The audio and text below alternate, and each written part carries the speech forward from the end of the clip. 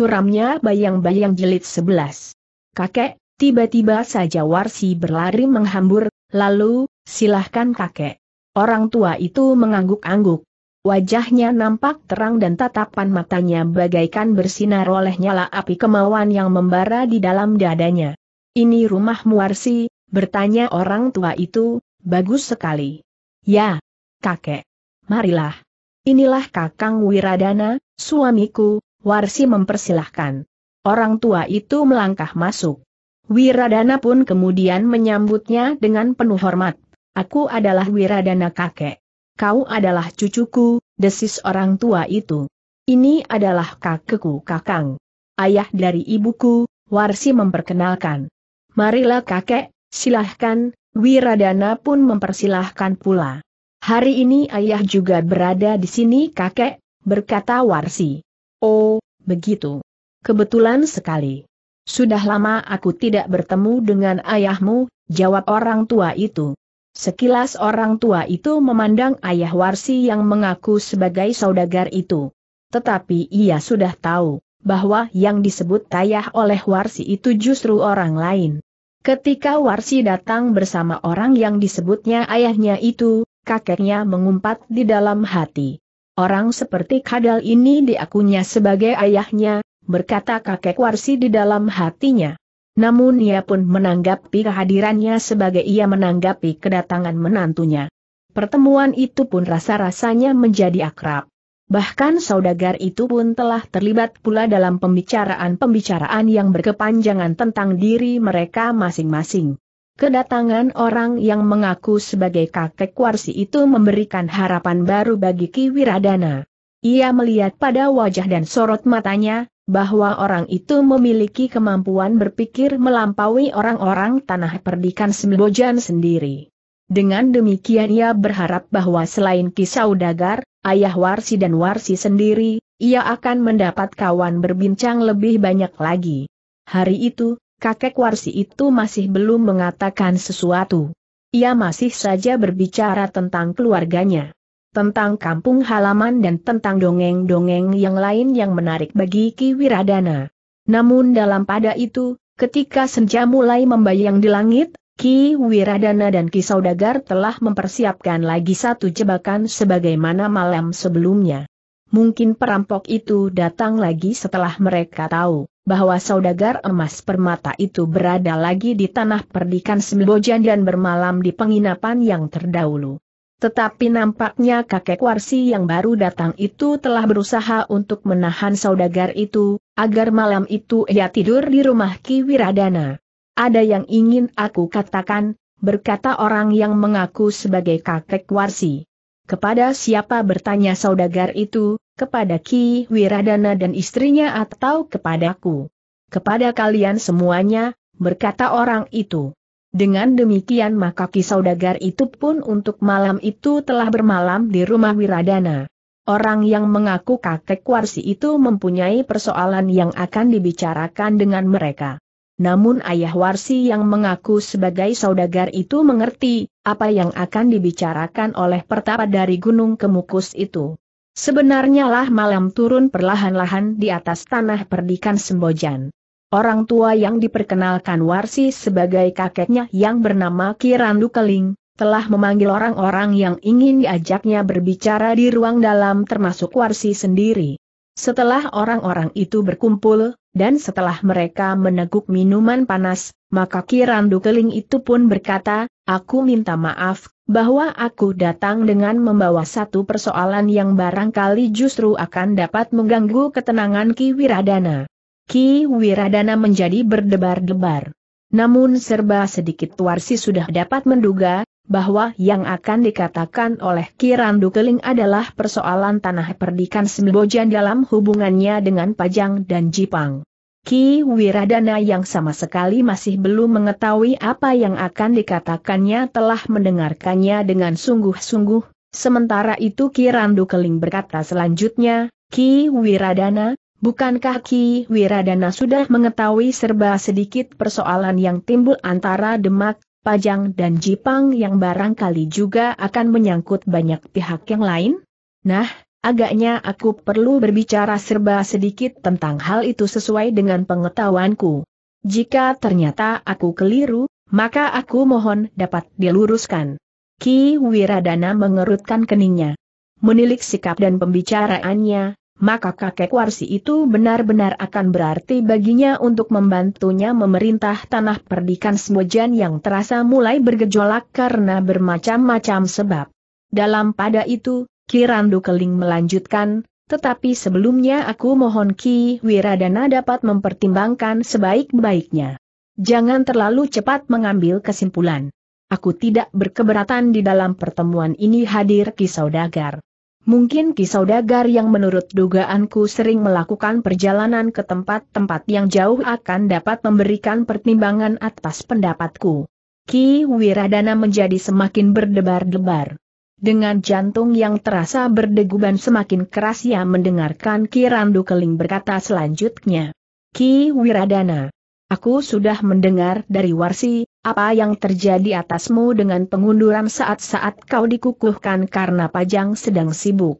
Sebenarnya hal itu tidak perlu terjadi, karena persoalanmu tidak bersangkut paut dengan persoalan yang terjadi di Demak.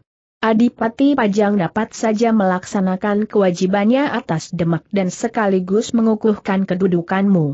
Mungkin adipati itu memang tidak dapat datang sendiri ke tanah perdikan ini. Tetapi ia dapat memerintahkan orang lain untuk melakukannya. Ki Wiradana mengangguk-angguk. Jawabnya, ya kakek. Ternyata sikap orang-orang pajang tidak menguntungkan bagiku. Itu adalah ciri orang-orang pajang, berkata Ki Randu Keling selanjutnya. Ki Wiradana mengerutkan keningnya. Dengan nada tinggi ia bertanya, Ciri yang bagaimana kakek? Orang-orang pajang memang orang-orang yang bekerja sangat lamban. Bahkan lebih buruk dari itu, orang-orang pajang termasuk Adipati Hadi Wijaya, selalu menunda-nunda pekerjaan yang sebenarnya dapat diselesaikan dalam waktu singkat. Bahkan kadang-kadang ada-ada saja alasan yang sebenarnya tidak masuk akal untuk memperlambat pekerjaan mereka bukan sekadar karena orang-orang pajang adalah orang-orang yang malas, tetapi ada perasaan dengki terhadap keberhasilan seseorang. Mereka lebih senang melihat Ki Wiradana dalam keadaan terkatung-katung daripada Ki Wiradana dengan mantap menjadi seorang kepala tanah perdikan, berkata Ki Randu Keling. Ki Wiradana mengangguk-angguk. Katanya, pantas. Ada saja alasan Ki Tumenggung Wirajaya.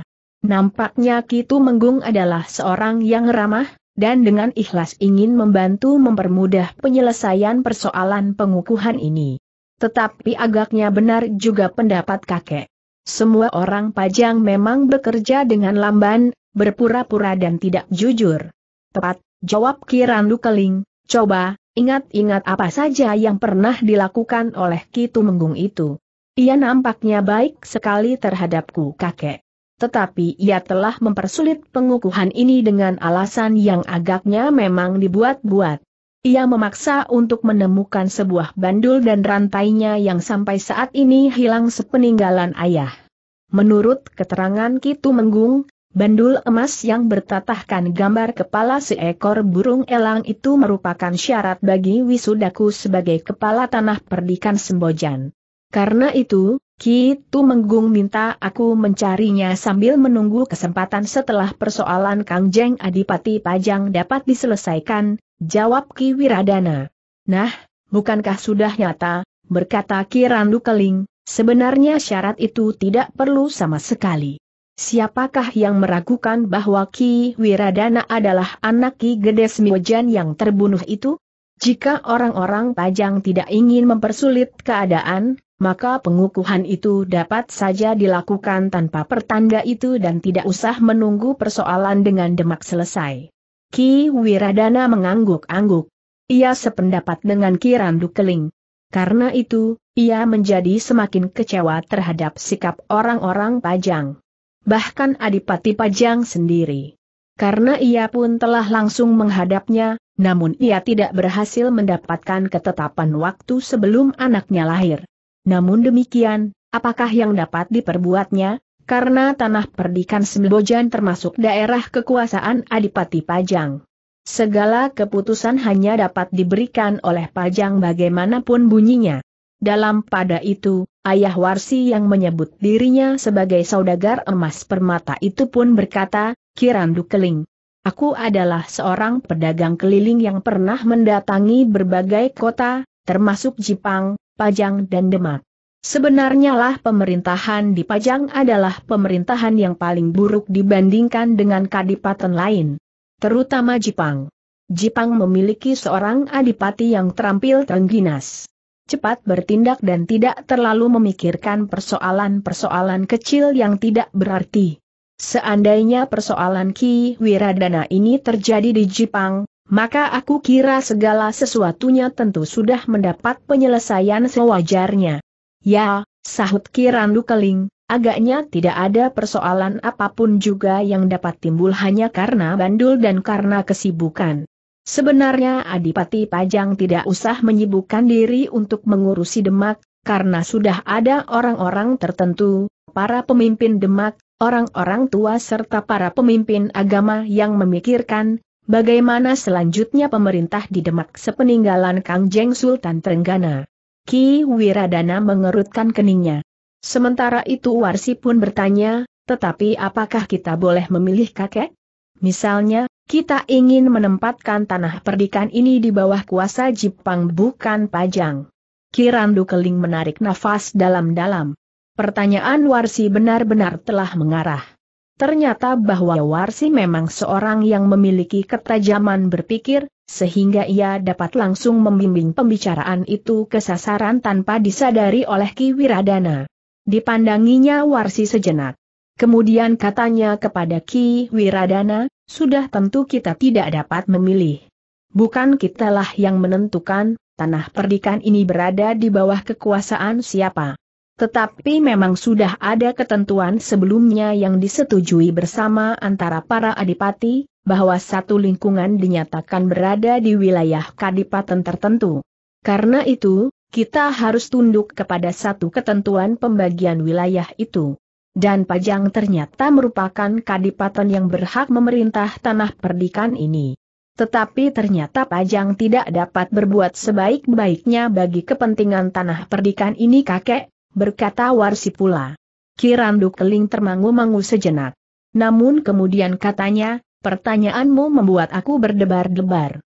Aku memang mempunyai persoalan yang dapat kita bicarakan malam ini dengan sungguh-sungguh. Langsung menyangkut hubungan antara tanah perdikan ini dengan Pajang. Maksud kakek Warsi pulalah yang bertanya. Kirandu Keling termenung sesaat. Ada semacam keragu-raguan membayang di wajahnya. Namun kemudian katanya, baiklah, aku tidak akan terlalu banyak memberikan alasan. Tetapi aku berharap bahwa kalian dapat memikirkan persoalan ini dengan sungguh-sungguh. Sebagaimana aku katakan, aku tidak akan memaksa satu keputusan. Tetapi hendaknya masalah ini dipikirkan baik-baik, Kirandu Keling berhenti sejenak, sementara Ki Wiradana menjadi berdebar-debar. Lalu katanya lebih lanjut, Ki Wiradana.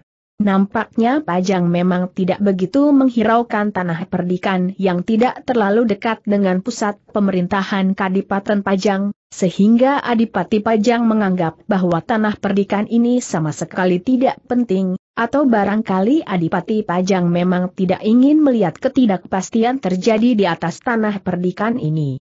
Karena itu, sebagai satu lingkungan yang hidup dan memiliki pertimbangan-pertimbangan tertentu, maka kita tidak akan dapat menentukan sikap terhadap Pajang. Pada saat Pajang berada di dalam ketidakpastian. Karena Pajang adalah sebuah kadipaten yang berada di bawah kekuasaan Demak, maka dalam kekalutan ini, diharapkan akan dapat terjadi pergeseran kekuatan dan kekuasaan dari keturunan Trenggana kembali ke keturunan Sekar Sedalepen. Wiradana mengerutkan keningnya. Keterangan Kirandu Keling telah membuatnya menjadi berdebar-debar. Sementara itu Kirandu Keling berkata selanjutnya, Ki Wiradana. Jika Pajang memang tidak lagi menganggap tanah perdikan ini penting untuk digarap dan dibimbing menuju ke satu keadaan yang mantap, maka buat apa tanah perdikan ini masih tetap bersandar kepada Pajang. Kenapa kita tidak beralih kiblat dengan menempatkan diri kita di bawah kekuasaan Jipang? Jipang letaknya memang tidak jauh, tetapi jika yang lebih jauh itu mampu memberikan tempat yang lebih baik bagi tanah perdikan ini, apa salahnya? Ki Wiradana menjadi tegang. Pada saat-saat ia mengikuti pembicaraan Ki Randu Keling, ia memang sudah menduga bahwa pembicaraan itu akan sampai ke sana. Namun demikian, agaknya tawaran ini memang sangat menarik. Rasa-rasanya ia sudah tidak berpengharapan lagi untuk dapat dikukuhkan apalagi dalam waktu singkat karena beberapa alasan. Salah satu alasan adalah pertanda kuasa tanah perdikan Sembojan yang hilang itu. Memang mungkin hanya merupakan satu alasan saja, berkata Ki Wiradana di dalam hatinya. Tetapi sebenarnya Pajang atau justru Adipati Pajang ingin tanah perdikan ini hapus dan menjadi daerah Pajang sebagaimana kademangan-kademangan yang tidak mempunyai wewenang menentukan lingkungannya sendiri selain patuh dan tunduk segala perintah dan paugeran dari Pajang, terutama menyangkut pajak. Namun dalam pada itu, Ki Wiradana tidak segera menjawab. Ada kebimbangan di dalam hatinya untuk menentukan pilihan, sehingga karena itu, maka untuk beberapa saat ia justru terdiam. Karena Ki Wiradana justru termangu-mangu, maka Ki Randu Keling itu pun berkata, kau tidak perlu gelisah dan memaksa diri untuk mengambil keputusan cucuku. Berpikirlah. Karena kau mempunyai seorang istri, maka bicarakanlah persoalanmu dengan istrimu. Ki Wiradana mengangguk-angguk. Katanya, baiklah kakek. Aku akan mencoba merenungkan. Mungkin dalam waktu singkat kami, maksudku aku dan istriku sudah akan dapat mengambil keputusan. Pertimbangkan keputusanmu baik-baik, karena persoalannya menyangkut bukan saja kau berdua, tetapi seisi tanah perdikan ini, berkata kakek itu pula. Lalu, selebihnya Jipang letaknya lebih jauh dari Pajang. Karena itu dalam beberapa hal, tanah perdikan ini akan mendapat lebih banyak kebebasan. Jepang tidak akan sempat membuat perhitungan sampai yang sekecil-kecilnya mengenai perkembangan tanah perdikan ini, juga dalam hal perhitungan pajak. Apalagi sampai saat ini adalah sebuah kadipaten yang kaya raya, sehingga hal-hal seperti itu tidak akan banyak mendapat perhatian. Ki Wiradana mengangguk-angguk. Tetapi ia memang tidak ingin mengambil keputusan. Ia akan membuat pertimbangan-pertimbangan sesuai dengan keterangan-keterangan yang didengarnya dari kakek Warsi dan dari Ki Saudagar. Dalam pada itu, ketika malam menjadi larut, maka orang-orang yang berbincang itu pun merasa telah cukup. Mereka pun kemudian dipersilakan beristirahat di bilik-bilik yang sudah disediakan. Saudagar emas itu pun bermalam pula di rumah Ki Wiradana sebagaimana pernah dilakukannya sebelumnya. Namun, Ketika malam menjadi sepi, dan para tamu Ki Wiradana sudah berada di balik bilik masing-masing, maka Ki Wiradana masih duduk di ruang dalam bersama istrinya. Warsi, berkata Ki Wiradana kemudian, kita sudah mendengar keterangan kakek tentang kemungkinan-kemungkinan yang dapat kita lakukan. Bagaimana menurut pendapatmu?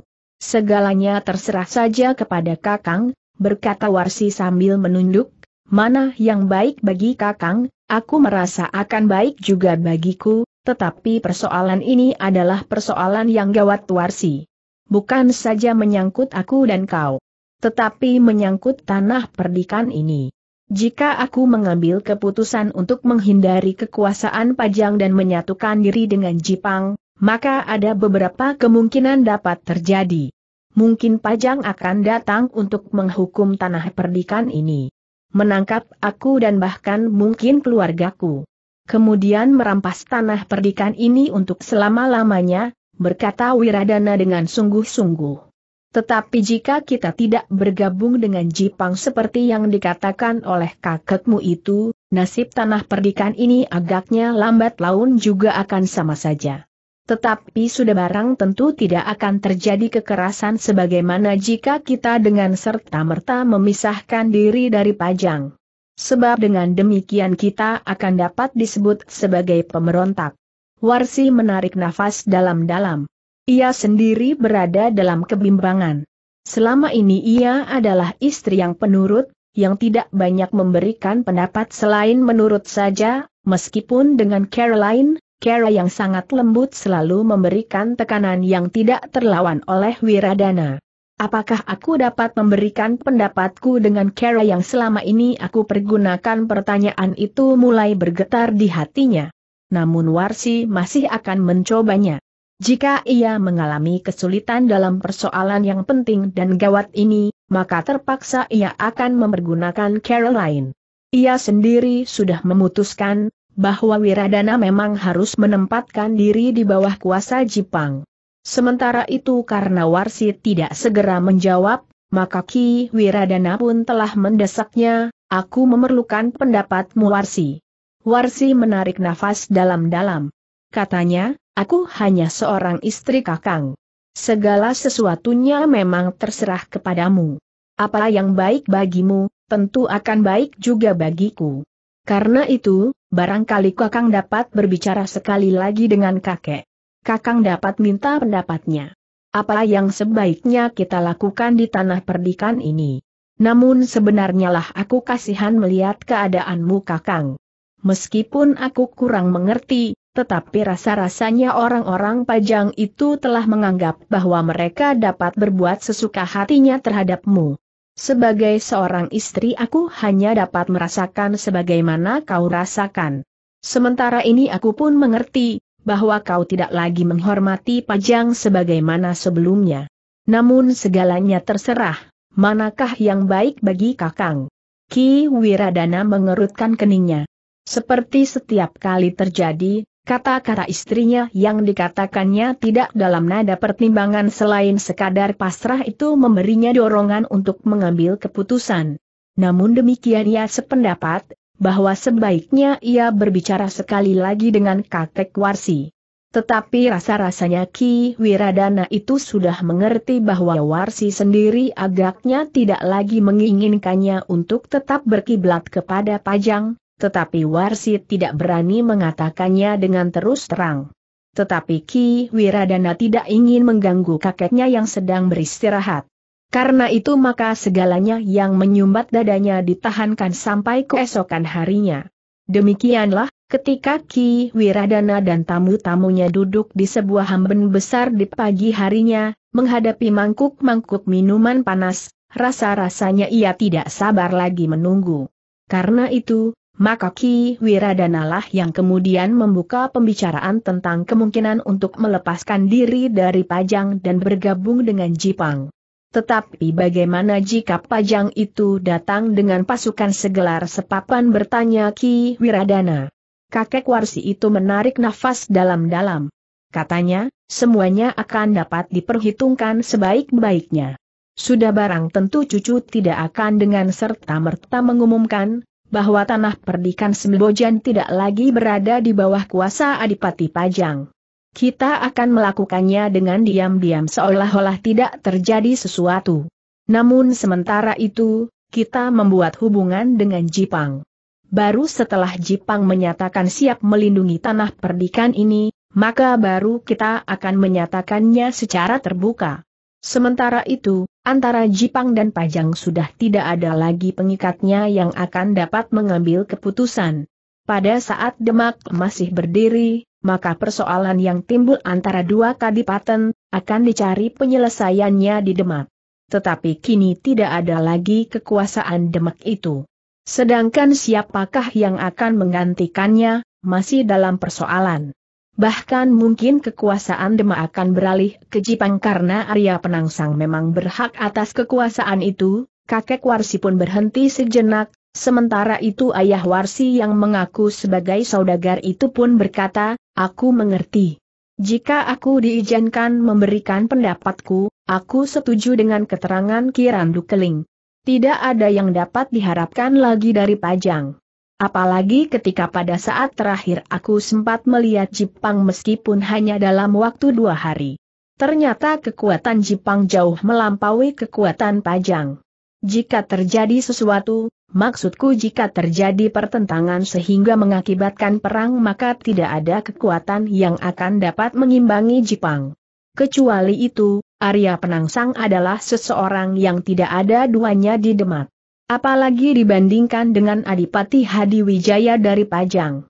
Karena itu, menurut pendapatku, jalan seperti yang dikatakan oleh Kirandu Keling itu akan dapat ditempuh oleh tanah perdikan ini, sementara itu, latihan-latihan bagi para pengawal tanah perdikan dapat ditingkatkan. Ki Wiradana mengangguk-angguk.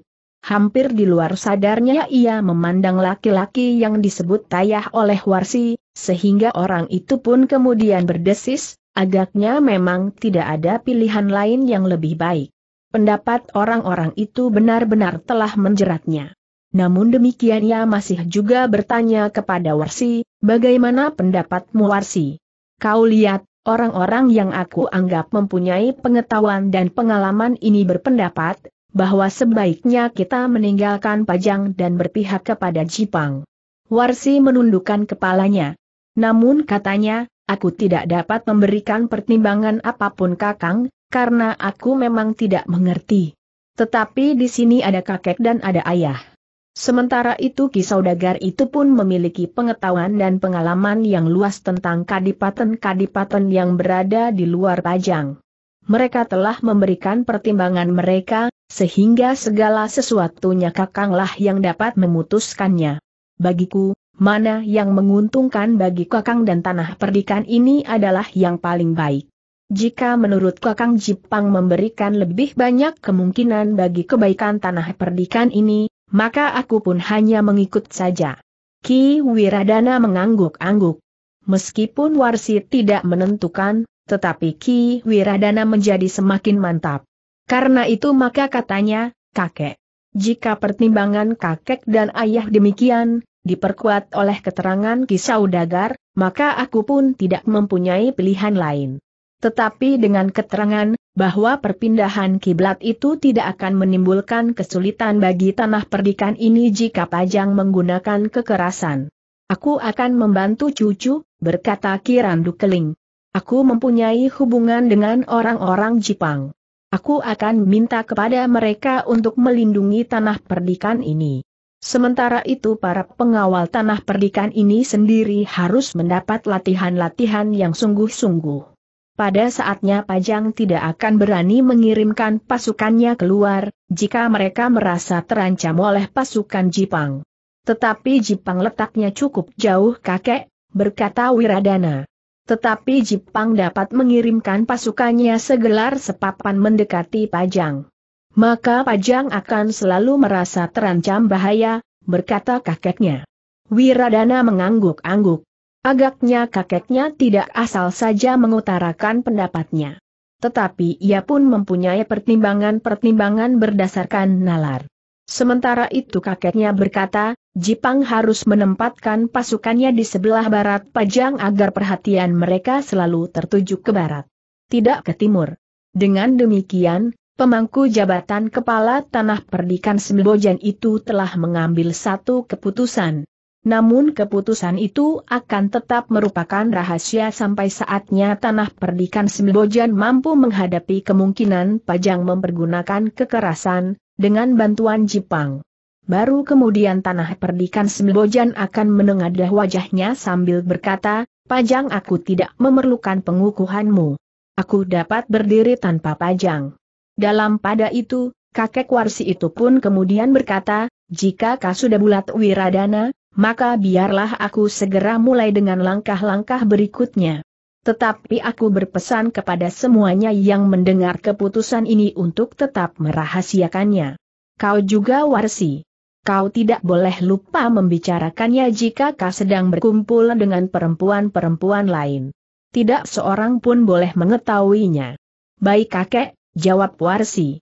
Aku akan selalu mengingatkannya. Sementara ini segalanya dapat berjalan sebagaimana biasanya tidak ada perubahan-perubahan yang boleh nampak, berkata Kirandu Keling selanjutnya. Ya, berkata saudagar, aku pun akan melanjutkan usahaku menjebak perampok itu. Tetapi bagaimana jika mereka justru orang-orang Jepang bertanya Wiradana? Tidak apa-apa. Mereka harus ditangkap. Seperti aku katakan, Sikap kalian tidak boleh berubah dengan serta-merta, sahut Kirandu Keling. Ki Wiradana mengangguk-angguk. Namun ia berharap bahwa keadaan tanah perdikan Sembojan akan menjadi lebih baik. Menurut ingatannya, sejak ayahnya menjadi kepala tanah perdikan di Sembojan, Pajang memang tidak pernah memberikan bimbingan apa pun juga. Diserahkannya segala sesuatunya kepada ayahnya untuk mengerjakan. Namun pada saat-saat tertentu, Pajang menghendaki tanah perdikan Sembojan membayar pajak berwujud apa saja yang dapat diserahkan. Bukan saja hasil bumi dan ternak, tetapi juga uang.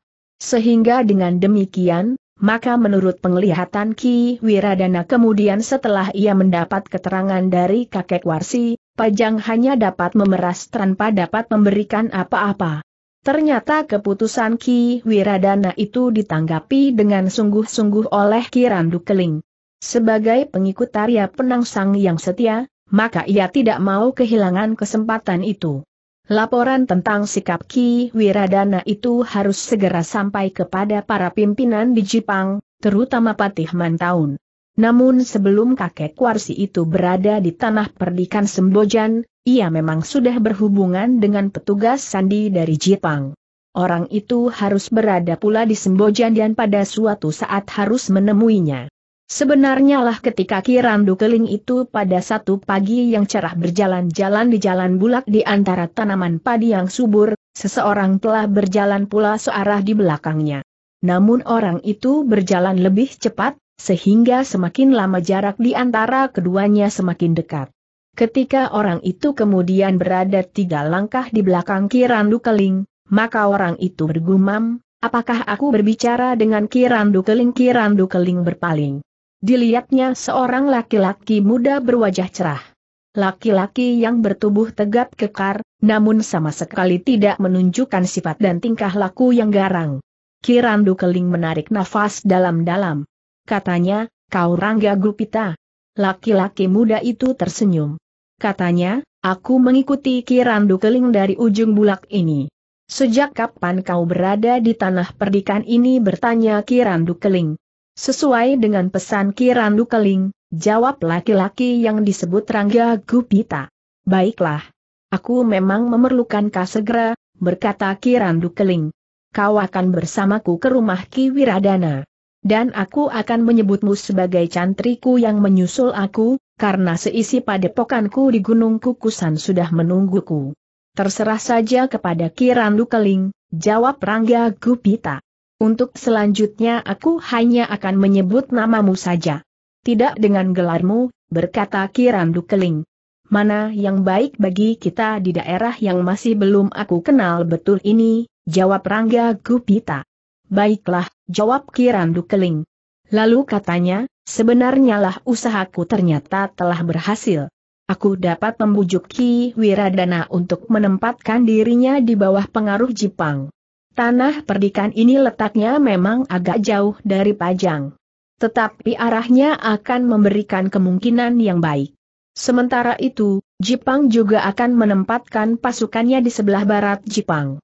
Kau harus segera menyampaikan laporan kepada Kipatih Mantaun. Yang perlu segera dilakukan adalah mengirimkan beberapa orang perwira yang akan melatih anak-anak muda tanah perdikan ini, agar pada saatnya dapat dipersiapkan untuk menghadapi Pajang, di samping prajurit Jepang yang akan dikirim kelak. Namun dengan kekuatan tanah perdikan ini, maka Jepang akan dapat menghemat prajuritnya, karena Jepang tentu akan menghadapi kekuatan-kekuatan lain, berkata Kirandu Keling. Tetapi kekuatan yang paling besar adalah kekuatan Pajang, sahut Rangga Gupita. Kirandu Keling mengangguk-angguk. Namun katanya, tanah perdikan ini juga akan dapat memberikan dukungan kekuatan menghadapi Pajang. Rangga Gupita mengangguk-angguk. Katanya, aku sependapat dengan Kiran Dukeling. Dan aku akan segera melakukannya. Tetapi apakah aku perlu singgah di rumah Ki Wiradana? Kau belum mengenalnya. Kau perlu berkenalan dengan pemangku jabatan kepala tanah perdikan itu, berkata Kiran Dukeling tetapi sebagai cantriku. Cantrik seorang pertama di Gunung Kukusan. Baiklah. Aku akan berkenalan dengan Ki Wiradana. Tetapi kenapa aku harus disebut sebagai cantrik gunung kukusan?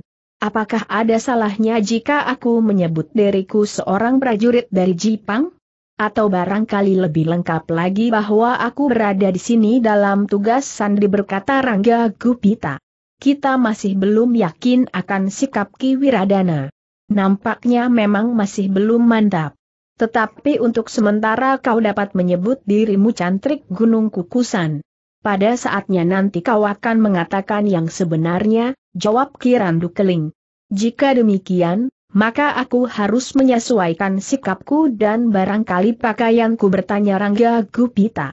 Bagaimana dengan pakaianmu? Kau sudah memakai pakaian seorang petani. Apalagi? Apakah pakaian cantrik itu harus lain dan barangkali lebih buruk dari pakaian seorang petani seperti yang kau pakai berkata Kirandu Keling. Memang kesannya, seorang cantrik adalah seseorang yang hidup dalam dunia tersendiri di sebuah padepokan tanpa menghiraukan kehidupan di luar lingkungannya, berkata Rangga Gupita. Aku adalah seorang pertapa. Tetapi jika aku keluar dari padepokan, maka aku akan menyesuaikan diri dengan tujuanku sehingga aku akan dapat menempatkan diri di mana pun dalam hubungan antar manusia, berkata Kirandu Keling tetapi aku pernah melihat seorang pertapa dalam pakaian kusut yang sekadar dililitkan di tubuhnya berada di jalan-jalan raya di Jepang, berkata Rangga Gupita. Ah, tentu tidak. Tetapi mungkin juga, bahwa pertapa yang demikian benar-benar telah melepaskan diri dari hubungan lahiriah dengan dunia ini, berkata Kirandu Keling. Itulah bedanya antara mereka dengan aku. Aku masih menganggap diriku yang pertapa ini, sebagian dari lingkunganku. Aku masih berpikir tentang tanah perdikan Sembojan agar menjadi bagian dari Jepang dan melepaskan diri dari Pajang.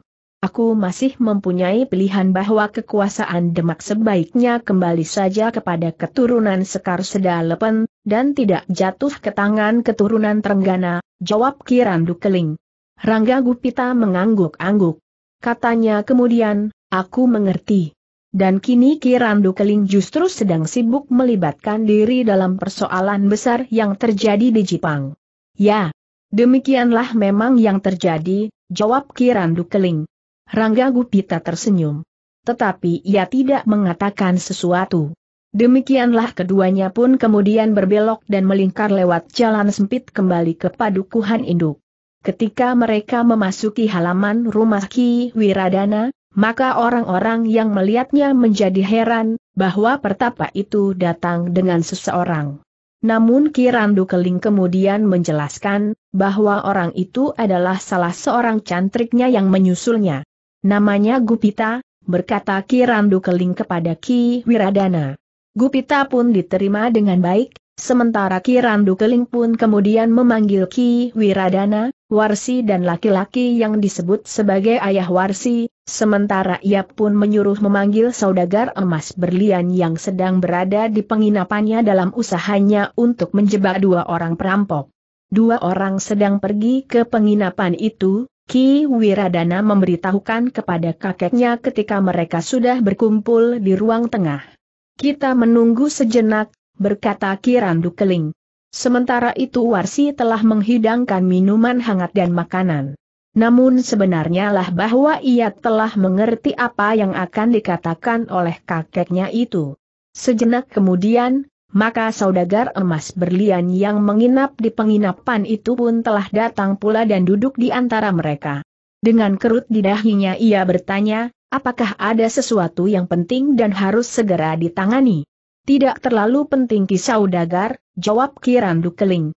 Bahkan ia pun masih sempat bertanya, bagaimana dengan perampok itu? Mereka sama sekali tidak menampakkan dirinya, jawab Ki Saudagar itu. Ternyata mereka pun mempunyai perhitungan, berkata Kirandu Keling. Lalu, tetapi baiklah. Aku akan mengatakan kepentinganku kali ini, kakek Warsi itu berhenti sejenak, lalu katanya, seorang cantrik dari padepokan telah menyusul. Mereka menganggap bahwa aku telah pergi terlalu lama. Jadi kakek akan kembali bertanya Ki Wiradana. Ya, aku akan kembali ke Gunung Kukusan. Tetapi aku pun akan langsung berhubungan dengan Jipang. Aku akan menyampaikan keputusan kalian. Namun aku berpesan, jangan melakukan sesuatu yang dapat menarik perhatian. Jangan membocorkan rahasia ini, jawab pertapa dari kukusan itu. Lalu apakah yang dapat aku kerjakan di sini bertanya Ki Wiradana. Ki Randu Keling mengerutkan keningnya. Namun kemudian katanya, kau tetap dapat meningkatkan latihan-latihan bagi pengawalmu menurut kemampuan tenaga yang ada. Agaknya hanya kau sendirilah yang akan mampu memberikan latihan-latihan itu. Ki Wiradana mengangguk-angguk. Jawabnya, ya kakek. Aku di sini seolah-olah hanya seorang diri. Aku harus melakukan semuanya. Apakah ayah cucu juga melakukan sebagaimana kau lakukan sekarang bertanya Kirandu Keling. Ya kakek. Ayah juga berbuat segala sesuatunya sendiri. Ada beberapa pengawal kepercayaannya. Tetapi kemampuan dan ilmunya tidak lebih baik dari yang kita lihat sekarang, jawab Ki Wiradana. Dalam pada itu, tiba-tiba saja saudagar emas dan berlian itu berkata, Ki Wiradana. Jika Ki Wiradana tidak berkeberatan, aku bersedia membantu. Bukankah aku juga akan menjadi penghuni tanah perdikan ini jika aku sudah mendapatkan sebidang tanah di sini? Bukankah juga menjadi kewajibanku untuk ikut serta berbuat sesuatu bagi tanah perdikannya? Ki Wiradana termangu-mangu sejenak. Namun kemudian katanya, terima kasih Ki Saudagar. Aku sangat berterima kasih. Dengan demikian maka tugasku akan menjadi sedikit ringan. Laki-laki yang disebut ayah Warsi itu pun hampir saja ikut pula menyediakan diri. Tetapi Warsi menggamitnya, sehingga orang itu mengurungkan niatnya. Namun dalam pada itu, kakek Warsi itu pun berkata, Wiradana, jika aku berhasil berhubungan dengan Jipang, maka aku akan minta beberapa orang untuk melatih para pengawal di sini. Mereka adalah perwira-perwira prajurit Jepang yang memang mempunyai wewenang untuk menempa para prajurit. Dengan demikian maka para pengawal tanah perdikan ini akan mempunyai kemampuan seorang prajurit yang pilih tanding. Dalam keadaan yang demikian dibantu oleh sekelompok prajurit Jepang yang sebenarnya, maka Pajang tidak akan dapat berbuat apa-apa atas tanah perdikan ini, sementara pasukan Jepang yang lain mengancam Pajang dari arah barat. Ki Wiradana mengangguk-angguk. Ia berharap bahwa segala sesuatunya dapat berjalan dengan baik sehingga tanah perdikan Sembojan akan benar-benar mampu tegak di luar kekuasaan Pajang yang penilaian Ki Wiradana, tidak banyak menghiraukan kepentingan tanah perdikan itu, selain dengan tekanan telah memungut pajak yang besar. Demikianlah, maka kakek Warsi itu pun telah menentukan, bahwa di pagi hari berikutnya ia akan meninggalkan tanah perdikan itu kembali ke Gunung Kukusan dan apabila mungkin akan berhubungan dengan Jipang untuk menyampaikan maksudnya. Namun sebelum meninggalkan tanah perdikan, kakek Warsi itu sempat memberikan pesan-pesan yang sangat berarti bagi Ki Wiradana untuk menyusun latihan-latihan bagi para pengawalnya. Bahkan Ki Randu Keling itu telah memberikan petunjuk tentang tataran para pengawal. Ada tiga tataran, berkata Kirandu Keling. Tataran pertama, adalah mereka yang memang menyatakan diri sebagai pengawal. Jumlahnya memang tidak terlalu banyak. Tetapi mereka adalah pusat kekuatan tanah perdikan ini. Mereka harus tidak merangkap pekerjaan lain, kecuali mengkhususkan diri dalam tugasnya sebagai pengawal. Bahkan sawah ladang mereka pun harus mereka serahkan untuk digarap orang lain. Kepada mereka Ki Wiradana dapat memberikan penghasilan tetap bagi hidup mereka dan jika sudah berkeluarga, bagi keluarga mereka. Tataran kedua adalah anak-anak muda yang menyatakan diri bersedia menjadi pengawal di padukuhan masing-masing. Tetapi mereka tidak mengkhususkan diri. Mereka masih tetap dalam kerja mereka sehari-hari. Mereka harus bekerja di sawah dan ladang bagi hidup mereka dan keluarga mereka. Namun pada saat tertentu mereka mendapat tugas-tugas pengawalan, sebagai kewajiban mereka terhadap tanah perdikan. Mereka pun harus mendapat latihan-latihan yang baik sebagaimana seorang prajurit meskipun tidak akan sejajar dengan para pengawal khusus. Sedangkan tataran yang ketiga adalah semua laki-laki di tanah perdikan ini. Semua orang akan mendapat kewajiban untuk terbuat sebagaimana para pengawal jika tanah perdikan ini terancam bahaya. Tegasnya jika tanah perdikan ini diserang dari luar. Ki Wiradana mengangguk-angguk. Katanya, terima kasih kakek. Aku akan mencoba menyusun tataran pengawal di tanah perdikan ini sebagaimana kakek katakan.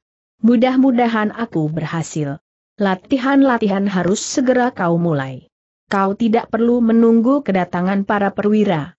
Justru dengan demikian, maka tidak akan nampak perubahan yang serta-merta dalam latihan-latihan para pengawal di tanah perdikan ini, berkata kakek Warsi kemudian. Pesan ini ternyata sangat berarti bagi Ki Wiradana. Bahkan telah menumbuhkan gejolak di dalam dadanya, mendorong tekadnya untuk membuat tanah perdikan Sembojan sebagai tanah perdikan yang kuat dan tidak tergoyahkan. Bukan saja menghadapi Pajang, tetapi juga menghadapi orang-orang Sembojan sendiri yang nampaknya ada beberapa pihak yang tidak dengan ikhlas melakukan perintah-perintahnya dan bahkan menunjukkan gejala untuk menentangnya. Sepeninggal kakek Warsi di saat yang telah direncanakan maka Ki Wiradana pun segera berkemas. Namun ia merasa sedikit heran, bahwa ternyata kakek Warsi adalah orang yang agaknya memiliki pengetahuan dan pengalaman yang luas. Ia bukan seorang pertama yang berpandangan sesempit pada pokannya. Bahkan menurut pendapat Ki Wiradana, ayah Warsi pun bukan seorang yang terlalu bodoh meskipun ia tidak lebih dari seorang penggendang.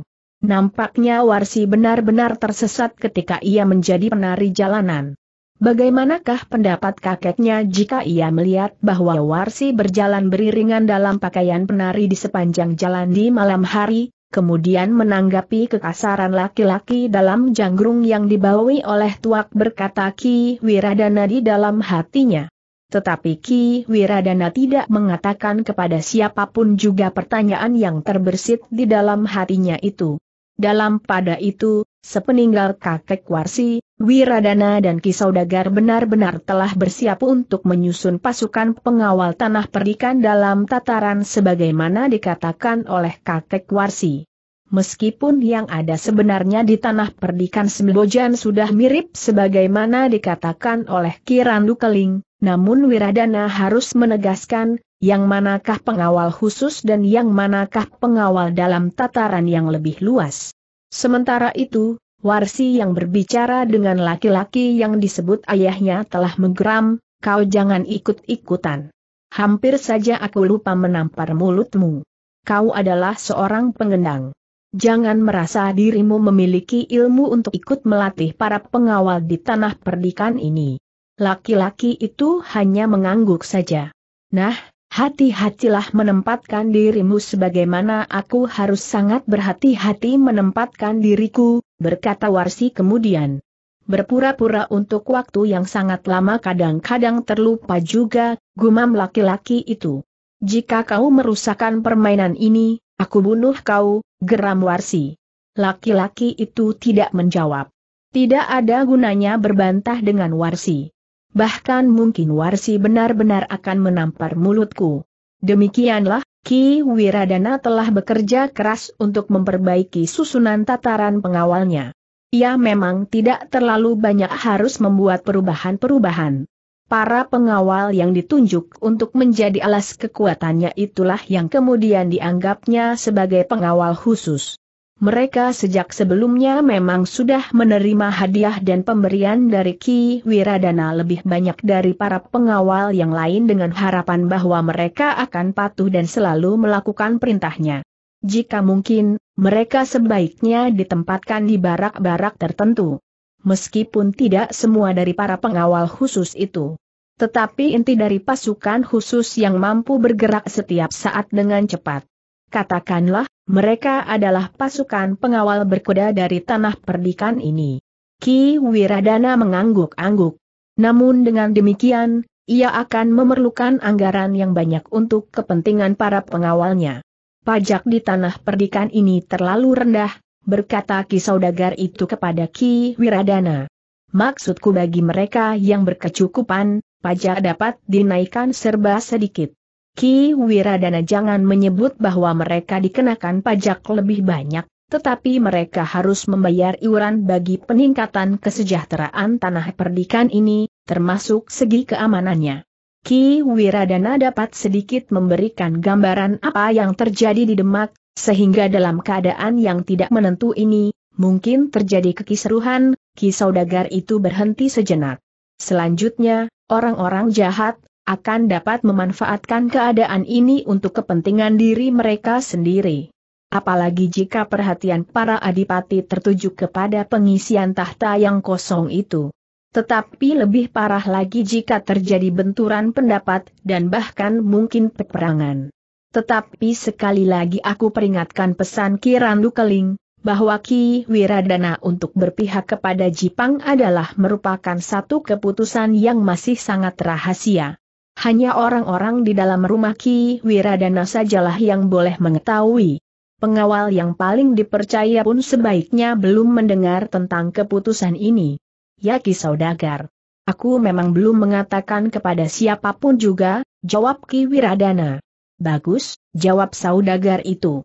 Sementara itu Ki Wiradana dapat mengatur para pengawal sebaik-baiknya. Aku akan membantu memberikan latihan-latihan bersama seorang kawanku itu. Terima kasih. Kita memang harus segera mulai, berkata Ki Wiradana. Semakin cepat semakin baik. Aku yakin bahwa Ki Randu Keling akan bergerak dengan cepat. Kita harus sudah siap dengan susunan tataran para pengawal sebelum beberapa orang perwira dari Jepang itu datang. Ki Wiradana mengangguk-angguk. Katanya, dalam waktu sebulan aku akan sudah siap dengan susunan tataran para pengawal sebagaimana dikehendaki oleh kakek dari Gunung Kukusan aku tidak terlalu banyak membuat perubahan-perubahan. Yang penting bagiku adalah justru penegasan, nama-nama dari pasukan khusus dan nama-nama dari para pengawal yang lain. Dengan demikian, maka Ki Wiradana telah memanggil beberapa orang kepercayaannya. Dengan singkat ia menguraikan keadaan yang mereka hadapi pada saat-saat terakhir, dengan kosongnya tahta di Demak, maka mungkin akan terjadi persoalan-persoalan yang tidak dikehendaki. Tetapi seperti yang dipesankan Ki Randu Keling dan Ki Saudagar, persoalan hubungan antara Jepang dan tanah perdikan itu sama sekali tidak disinggungnya. Demikianlah, maka dalam waktu yang terhitung singkat, Ki Wiradana telah menyiapkan susunan tataran pada pengawal. Ia telah membuat suatu barak yang akan menjadi barak para pengawal khusus dari pasukan berkuda tanah perdikan Sembojan.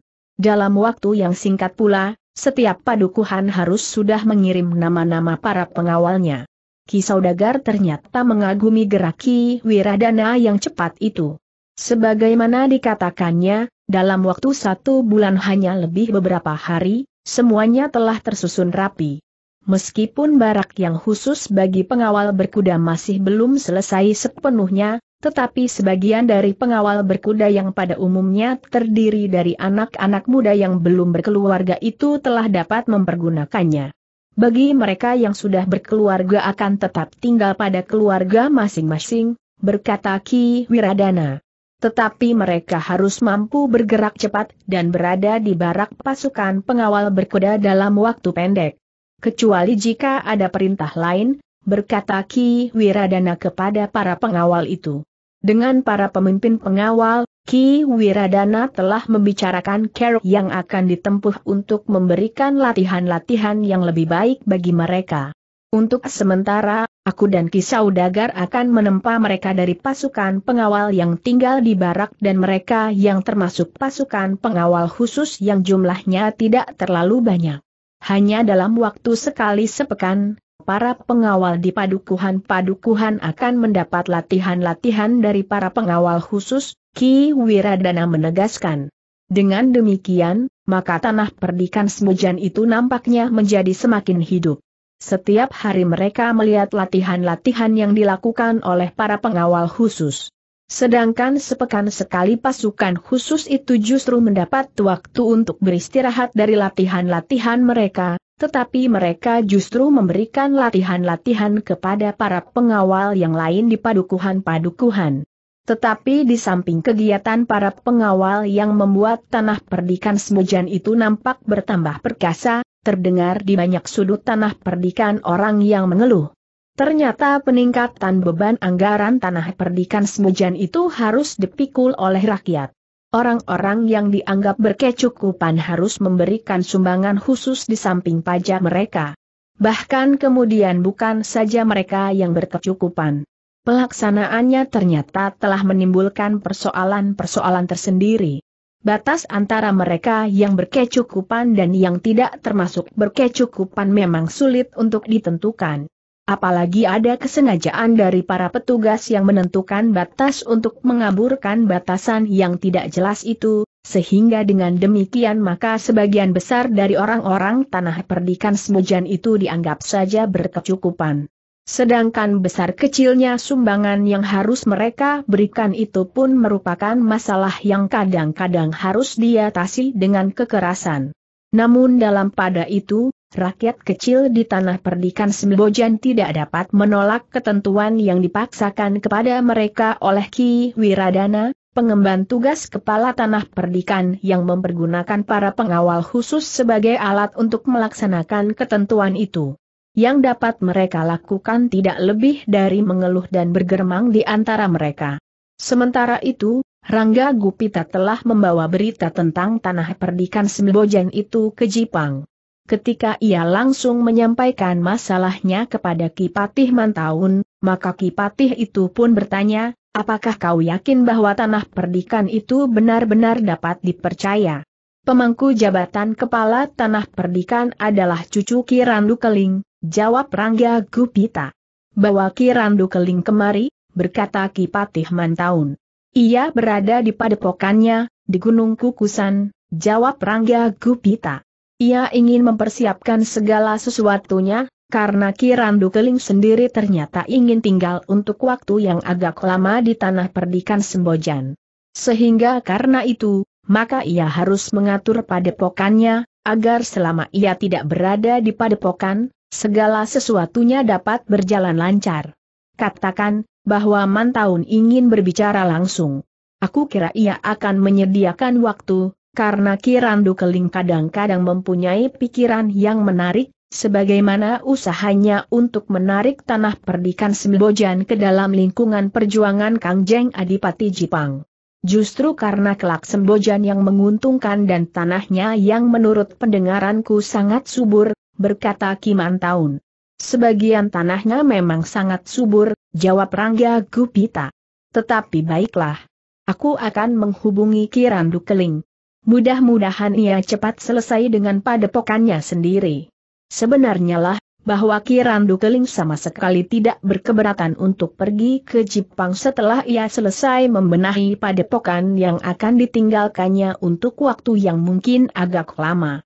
Memang ada sesuatu yang ingin langsung dibicarakannya dengan Kipatih Mantaun tentang kemungkinan-kemungkinan yang dapat dilakukan di tanah perdikan Sembojan. Namun sambil menunggu kedatangan Kirandu Keling maka para pemimpin di Jepang telah dapat membicarakan rencana yang mapan bagi tanah perdikan Sembojan. Dengan demikian, ketika Kirandu Keling benar-benar datang menemui Kipatih Mantaun bersama Rangga Gupita, maka banyak persoalan yang sudah dapat disiapkan pemecahannya. Dengan demikian maka tidak banyak lagi masalah-masalah yang masih harus dipersoalkan. Yang perlu, berkata Kirandu Keling, Jipang harus segera mengirimkan beberapa orang perwira untuk memberikan latihan-latihan kepada para pengawal di tanah perdikan. Dengan demikian tanah perdikan itu akan dapat dipersiapkan, bukan saja sebagai sumber persediaan makanan, tetapi sumber kekuatan. Ki Patih mungkin tidak dapat memperkirakan, berapa lama Kang Jeng Adipati Arya Penangsang memerlukan waktu untuk menyelesaikan perjuangannya. Kau benar Ki Randu Keling, jawab Ki Patih Mantaun. Kita harus bersiap-siap untuk perjuangan yang lama. Bukankah sampai saat ini masih belum jelas, apa yang akan terjadi bertanya Ki Randu Keling. Para pemimpin di Demak, orang-orang tua yang berpengaruh dan para adipati sedang berbicara tentang kemungkinan-kemungkinan yang paling baik bagi masa depan tanah perdikan ini. Tetapi pembicaraan itu tidak akan berkeputusan. Kang Jeng Adipati di Jepang harus berpegangan kepada jalur kekuasaan yang sebenarnya di Demak, karena terbunuhnya ayahanda Adipati di Jepang telah menggeser jalur kedudukan Sultan di Demak, dari keturunan Sekar Sedalepen kepada keturunan Trenggana, berkata Patih Mantaun. Tetapi apakah Adipati Jepang mendapat cukup dukungan bertanya Kirandu Keling? Memang mungkin dukungan itu masih harus diperjuangkan. Tetapi itu merupakan bagian dari perjuangan Adipati Jepang dalam keseluruhan, jawab Patih Mantaun. Namun kemudian, tetapi alat perjuangan terakhir adalah siap di Jepang. Kami, para pemimpin di Jepang sudah bertekad, bahwa alat perjuangan terakhir, yaitu kekuatan senjata, telah cukup memadai untuk melawan semua kekuatan yang mungkin akan bergabung, termasuk Pajang. Apalagi para pengawal di tanah perdikan Semojan itu dapat dibina sebagaimana prajurit. Sejak sebelumnya mereka sudah mendapat latihan-latihan yang tentu masih belum memadai. Tetapi setidaknya dapat merupakan pemanasan dari usaha berikutnya, menempa mereka menjadi prajurit-prajurit sebagaimana prajurit Jepang.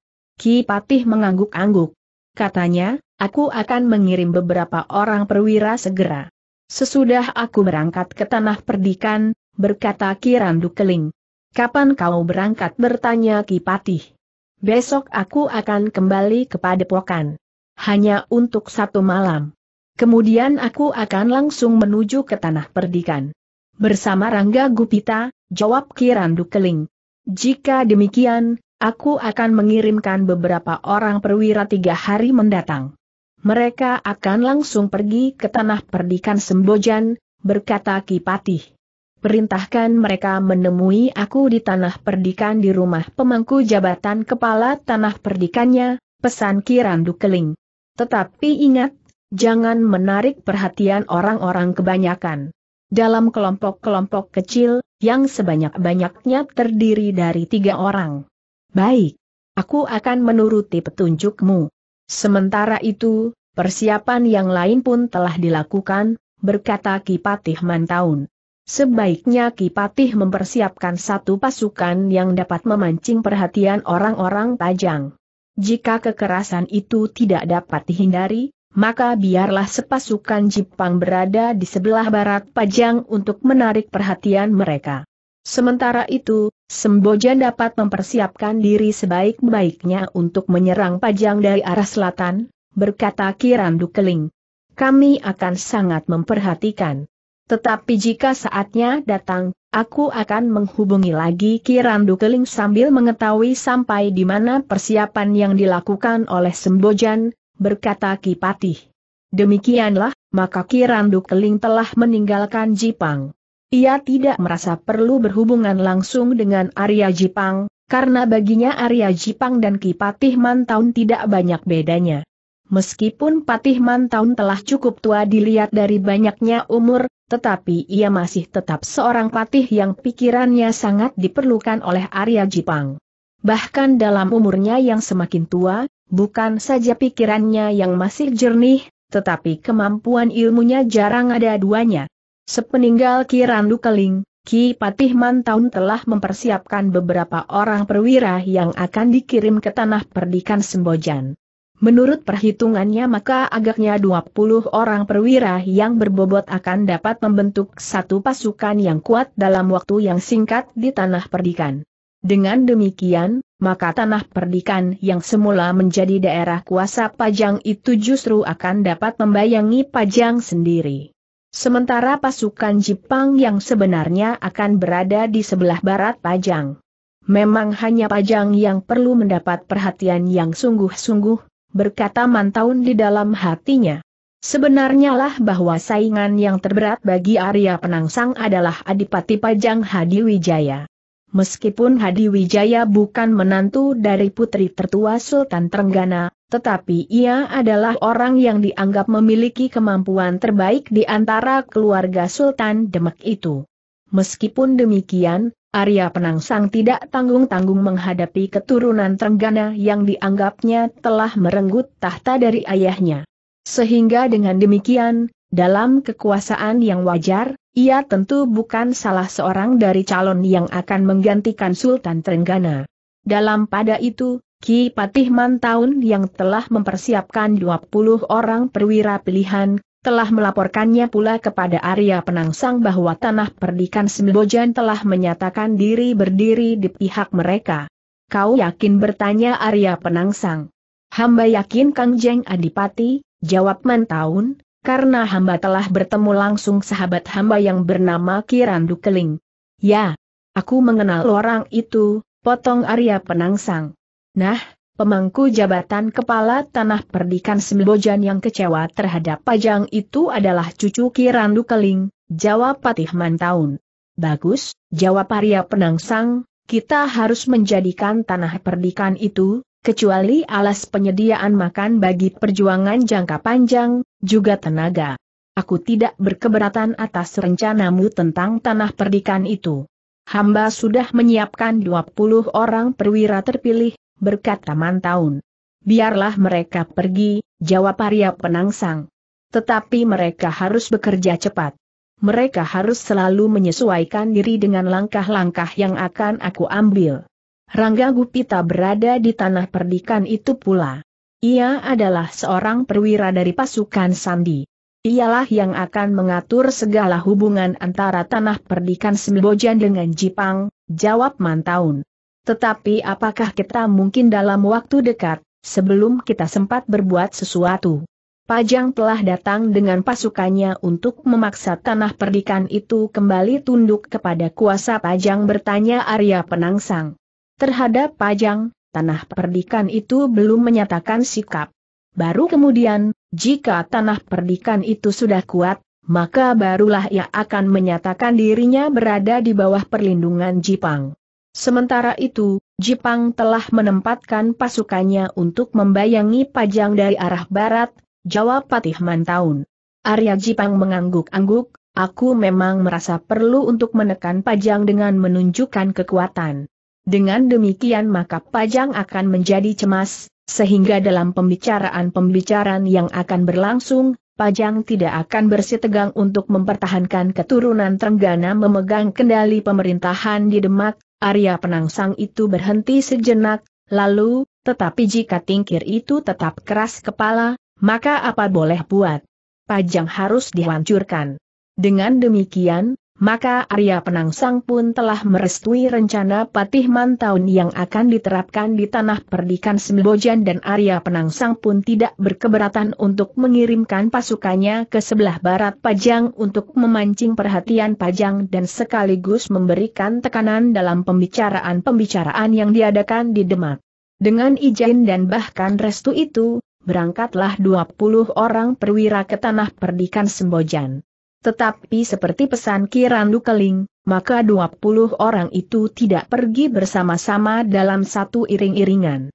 Mereka terbagi dalam kelompok-kelompok kecil yang terdiri dari dua atau tiga orang dengan mengikuti jalan yang berbeda-beda, sehingga dengan demikian kepergian mereka ke tanah perdikan tidak menarik perhatian orang di sepanjang jalan.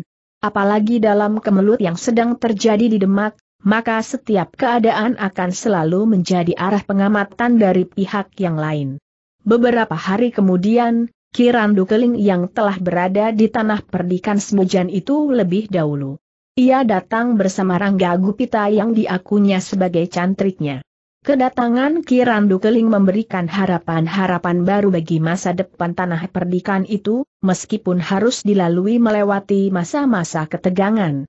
Demikian Kirandu Keling berada kembali di tanah perdikan, maka ia pun segera menyampaikan kepada Ki Wiradana bahwa hubungan dengan Jipang sudah terjalin. Dalam waktu dekat, akan datang para perwira yang mendapat tugas untuk menyusun kekuatan di tanah perdikan ini. Orang-orang Jipang percaya bahwa di sini, di tanah perdikan ini tersedia tenaga yang cukup. Jika terdapat beberapa orang yang dapat menyusunnya menjadi satu kekuatan yang teratur, maka kekuatan tanah perdikan ini harus diperhitungkan, berkata Kirandu Keling kemudian. Terima kasih kakek, jawab Ki Wiradana. Waktunya memang menjadi semakin mendesak. Dalam waktu yang tidak terlalu lama, Warsi akan melahirkan, sementara itu, sama sekali tidak ada kabar dari Pajang tentang wisuda itu. Sehingga dengan demikian maka keputusan untuk berpihak kepada Jipang akan aku tunjukkan kepada Pajang. Tetapi jangan tergesa-gesa dan jangan bertindak sendiri. Kau harus menyesuaikan langkahmu dengan tahap-tahap yang dilakukan oleh Jipang menghadapi kemelut ini. Ki Wiradana mengangguk-angguk, katanya, aku mengerti kakek. Nah, sejak sekarang kau dapat mempersiapkan orang-orangmu. Dua puluh orang akan datang. Tidak hanya satu atau dua orang, kau sadari jumlah itu? Dua puluh orang. Satu kekuatan yang cukup besar bagi tanah perdikan ini. Dan mereka akan membantumu menyusun pasukan pengawal di tanah perdikan ini, berkata Kirandu Keling. Bukankah dengan demikian tanah perdikan ini akan menjadi tanah perdikan yang kuat? Ki Wiradana menjadi berdebar-debar. Namun ia pun merasa bahwa ternyata ia tidak harus bekerja sendiri sebagaimana dilakukan oleh ayahnya dahulu. Ia kini mempunyai beberapa orang kawan. Dan bahkan 20 orang perwira dari Jepang akan datang ke tanah perdikan ini. Rencana kehadiran 20 orang perwira itu pun kemudian diberitahukan oleh Ki Wiradana dalam satu pertemuan tertutup para pemimpin pengawal tanah perdikan. Kepada mereka pun Wiradana belum mengatakan bahwa orang-orang yang bakal datang itu adalah orang-orang dari Kadipaten Jepang. Ki Wiradana hanya mengatakan bahwa mereka adalah para sahabat kakeknya. Namun demikian, pada saatnya kalian memang harus mengetahui langkah-langkah yang akan kami ambil kemudian, berkata Ki Wiradana. Keterangan Ki Wiradana itu memang menjadi bahan pembicaraan para pemimpin pengawal mereka memang berpengharapan untuk mendapatkan ilmu yang lebih tinggi. Tetapi mereka juga ingin tahu, siapakah sebenarnya 20 orang yang bakal datang. Jika orang-orang itu sudah pasti berada di tanah perdikan ini, maka barulah aku akan memberitahukan persoalan yang sebenarnya kepada kalian, berkata Ki Wiradana kepada para pemimpin pengawal yang agaknya selalu dibayangi oleh berbagai macam pertanyaan itu. Wiradana menjadi gelisah menunggu kedatangan para perwira seperti yang dikatakan oleh Kirandu Keling. Tetapi Kirandu Keling berkata, mereka pasti akan datang. Mungkin hari ini. Mereka tidak akan berjarak lebih dari dua hari dari kedatanganku. Sebenarnya lah seperti yang dikatakan oleh Kirandu Keling, maka orang pertama dan kedua telah datang pada hari itu mereka langsung menuju ke rumah Ki Wiradana, disusul dengan orang-orang berikutnya. Agar tidak menarik perhatian orang-orang Sembojan sendiri, maka sebagian dari kuda-kuda mereka pun telah dibawa langsung ke halaman belakang. Ternyata 20 orang itu datang berurutan dalam jarak waktu yang tidak terlalu dekat. Mereka memang menempuh jalan yang berbeda atau kecepatan yang berselisih, sehingga tidak menimbulkan kesan bahwa orang-orang berkuda dalam kelompok-kelompok kecil itu merupakan satu kesatuan. Setelah kedua puluh orang itu lengkap berada di rumah Ki Wiradana, maka mereka pun telah diterima dengan resmi oleh Kirandu Keling. Kemudian Kirandu Keling menyerahkan kedua puluh orang itu kepada Ki Wiradana. Ki Wiradana dapat memanfaatkan kedua puluh orang perwira ini untuk membentuk satu pasukan yang kuat di tanah perdikan ini, berkata Kirandu Keling. Lalu, segala sesuatunya terserah kepada Ki Wiradana. Tetapi kedua puluh orang ini mempunyai pengetahuan dan pengalaman. Meskipun demikian, keputusan terakhir tetap pada Ki Wiradana, karena pemangku jabatan kepala tanah perdikan di sini adalah Ki Wiradana. Kedua puluh orang itu tidak mencampuri pemerintahan di tanah perdikan ini. Mereka datang untuk membantu Ki Wiradana. Tidak untuk menyayangi pemerintahan Ki Wiradana. Ki Wiradana pun kemudian menerima mereka dengan senang hati dan penuh dengan harapan bagi masa depan tanah perdikan itu. Untuk selanjutnya, kedua puluh orang itu akan ditempatkan di beberapa rumah yang sudah disediakan di dekat barak yang sudah dibuat bagi para pengawal khusus. Dengan kehadiran mereka, maka untuk selanjutnya Ki Wiradana tidak merasa perlu lagi untuk merahasiakan hubungan tanah perdikan itu dengan Jipang khusus terhadap para pemimpin pengawal. Namun demikian, para pemimpin pengawal itu harus merahasiakannya kepada orang-orang di luar lingkungan mereka karena tanah perdikan Sembojan tidak ingin Pajang segera melakukan tindakan seandainya mereka mengetahui. Jika berita tentang kedua puluh orang itu tersebar dan hubungan antara tanah perdikan Sembojan dengan Jipang meluas diketahui, maka hal itu tentu akan segera sampai kepada orang-orang Pajang. Karena itu orang-orang Sembojan harus berusaha untuk menyimpan rahasia itu sejauh mungkin dan menyesuaikan langkah-langkah mereka dengan langkah-langkah yang diambil oleh Jipang menghadapi Demak dan Pajang. Demikianlah dengan hati-hati, kedua puluh orang itu telah ditempatkan di rumah-rumah yang sudah disediakan di dekat barak pada pengawal khusus. Sementara itu, Ki Wiradana telah mengambil langkah-langkah selanjutnya kalian harus membantu aku, berkata Ki Wiradana. Karena itu maka kalian harus melakukan kewajiban kalian dengan sebaik-baiknya. Kedua puluh orang yang datang itu merupakan satu kesempatan yang sangat baik bagi tanah perdikan ini, karena dengan demikian tanah perdikan ini akan dapat menyusun satu pasukan pengawal yang kuat, melampaui kekuatan tanah perdikan mana pun juga kalian tidak lagi berada pada tataran pengawal tanah perdikan sebagaimana para pengawal tanah perdikan yang lain, tetapi kalian adalah prajurit-prajurit pilihan yang berada pada tataran prajurit Demak sendiri. Ki Wiradana berhenti sejenak, lalu, namun demikian langkah-langkah yang aku ambil sekarang ini harus kalian rahasiakan. Kedua puluh orang itu akan berbaur menjadi satu dengan kalian, sehingga tidak akan nampak dari luar, bahwa di sini ada 20 orang perwira dari prajurit Jepang. Para pemimpin pengawal itu mengangguk-angguk. Mereka mendengarkan penjelasan Ki Wiradana yang panjang lebar dengan seksama, sehingga mereka pun mengerti dengan jelas segala maksud dan tujuannya. Demikianlah, sejak saat itu, Ki Wiradana menyerahkan pasukan pengawalnya kepada para perwira itu untuk mendapatkan latihan-latihan yang sebaik-baiknya. Pada hari-hari pertama, kedua puluh orang itu berusaha untuk mengetahui tingkat kemampuan para pengawal yang ada di barak yang akan menjadi alas ukuran untuk mulai dengan latihan-latihan berikutnya. Kemudian para perwira dari Jepang itu telah membagi para pengawal menjadi 20 kelompok kecil masing-masing sepuluh orang. Dengan demikian maka tanah perdikan Sembojan akan mempunyai 200 orang yang akan menjadi inti kekuatan tanah perdikan itu. Ternyata bahwa kedua puluh orang perwira itu pun telah menentukan waktu latihan sebagaimana ditentukan oleh Ki Wiradana sebelumnya.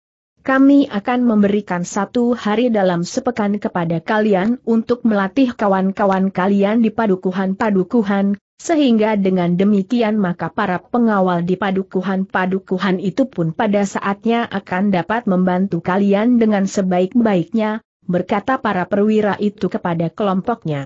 Dengan demikian, maka mulailah tanah perdikan Sembojan dengan satu masa yang sangat sibuk. Para pengawal benar-benar harus menjalani latihan-latihan yang sangat berat, sebagaimana latihan-latihan yang dilakukan oleh prajurit. Apalagi para perwira itu menghadapi satu jumlah yang terhitung kecil bagi latihan-latihan keprajuritan. Namun demikian ternyata rahasia bagi kedatangan 20 orang Jepang itu tetap merupakan rahasia yang hanya diketahui oleh para pemimpin pengawal dan 200 pengawal khusus yang mendapat latihan yang sangat berat itu. Mereka dengan rapat menyimpan rahasia itu sehingga para pengawal di padukuhan pun tidak mengetahui, bahwa dalam latihan-latihan pasukan pengawal khusus itu terdapat orang-orang Jepang. Sementara itu, latihan-latihan bagi para pengawal khusus itu memang sangat berat. Setiap pagi mereka menempa kemampuan jasmaniah mereka dengan berlari-lari menempuh jarak yang semakin lama semakin panjang. Memanjat lereng-lereng pegunungan atau meloncati bebatuan di sungai-sungai mereka mendapat latihan-latihan dalam perkelahian pribadi maupun dalam kelompok. Sementara itu pada saat-saat tertentu, mereka bersama-sama berlatih dalam perang gelar yang mapan. Mereka pun diajari berkelahi dengan mempergunakan bermacam-macam senjata. Senjata yang disediakan, bahkan senjata apa pun yang mereka ketemukan di tempat perkelahian itu terjadi. Batu, potongan kayu, bambu dan bahkan lumpur dan pasir. Kalian harus menjadi seorang yang mampu mengatasi segala persoalan yang dapat timbul di peperangan, berkata para perwira itu kepada para pengawal. Namun dalam pada itu, betapapun berat latihan-latihan yang harus mereka jalani, mereka pun mendapat keseimbangan dengan pemberian yang cukup banyak dari Ki Wiradana. Mereka tidak perlu lagi memikirkan makan dan minum. Mereka juga tidak memikirkan karena semuanya itu sudah disediakan oleh Ki Wiradana. Bahkan mereka masih mendapat uang untuk keperluan mereka yang lain.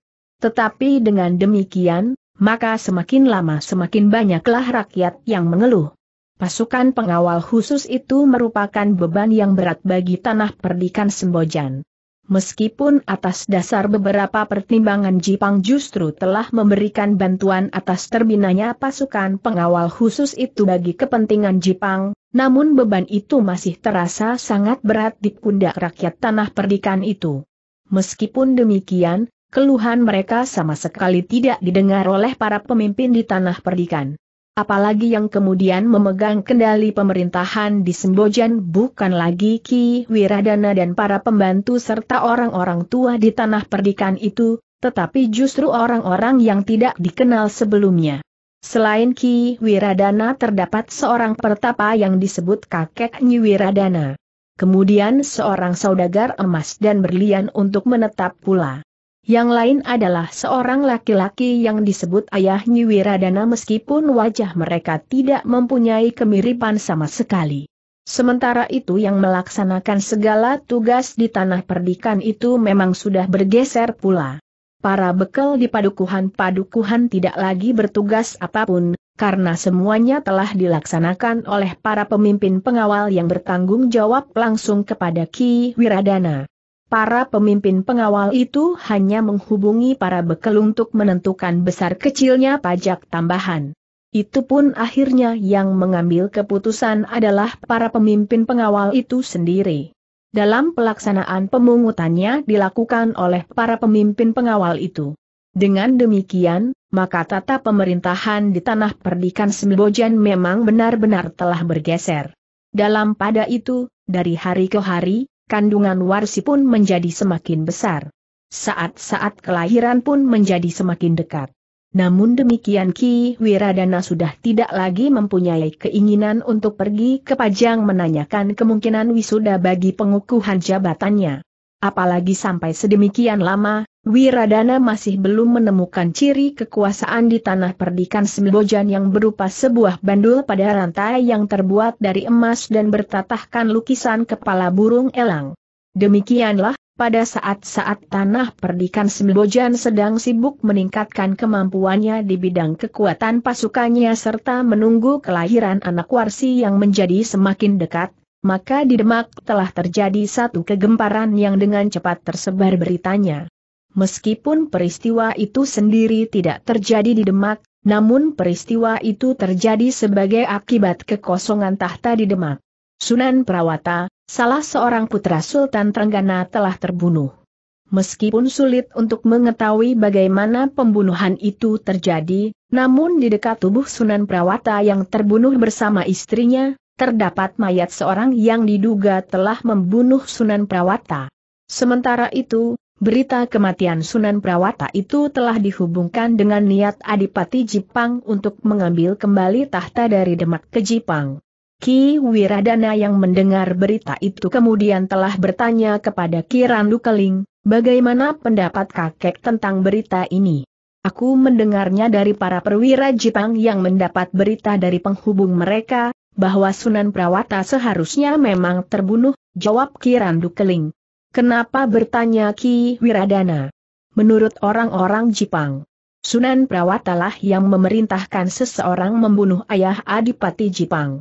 Seandainya ayah Adipati Jepang itu tidak terbunuh, maka ialah yang berhak menggantikan kedudukan ayahnya yang pada waktu itu memegang kekuasaan di Demak. Tetapi karena ayah Adipati Jepang itu terbunuh, maka tahta telah diwariskan kepada adiknya, Sultan Trenggana, berkata Kirandu Keling. Tetapi apakah benar bahwa ayah Arya Penangsang dibunuh atas perintah Sunan Prawata bertanya Ki Wiradana. Ki Randu Keling mengerutkan keningnya. Namun kemudian katanya, tidak ada seorang pun yang menghendaki kematiannya kecuali Sunan Prawata. Ia mengharap bahwa dengan demikian, maka tahta temurun kepada ayah Sunan Prawata. Pangeran Trenggana. Ki Wiradana mengangguk-angguk. Sementara itu Ki Randu Keling berkata, tidak ada yang dapat mengatakan yang sebenarnya. Baik kematian Sekar Sedalepen, maupun kematian Sunan Prawata.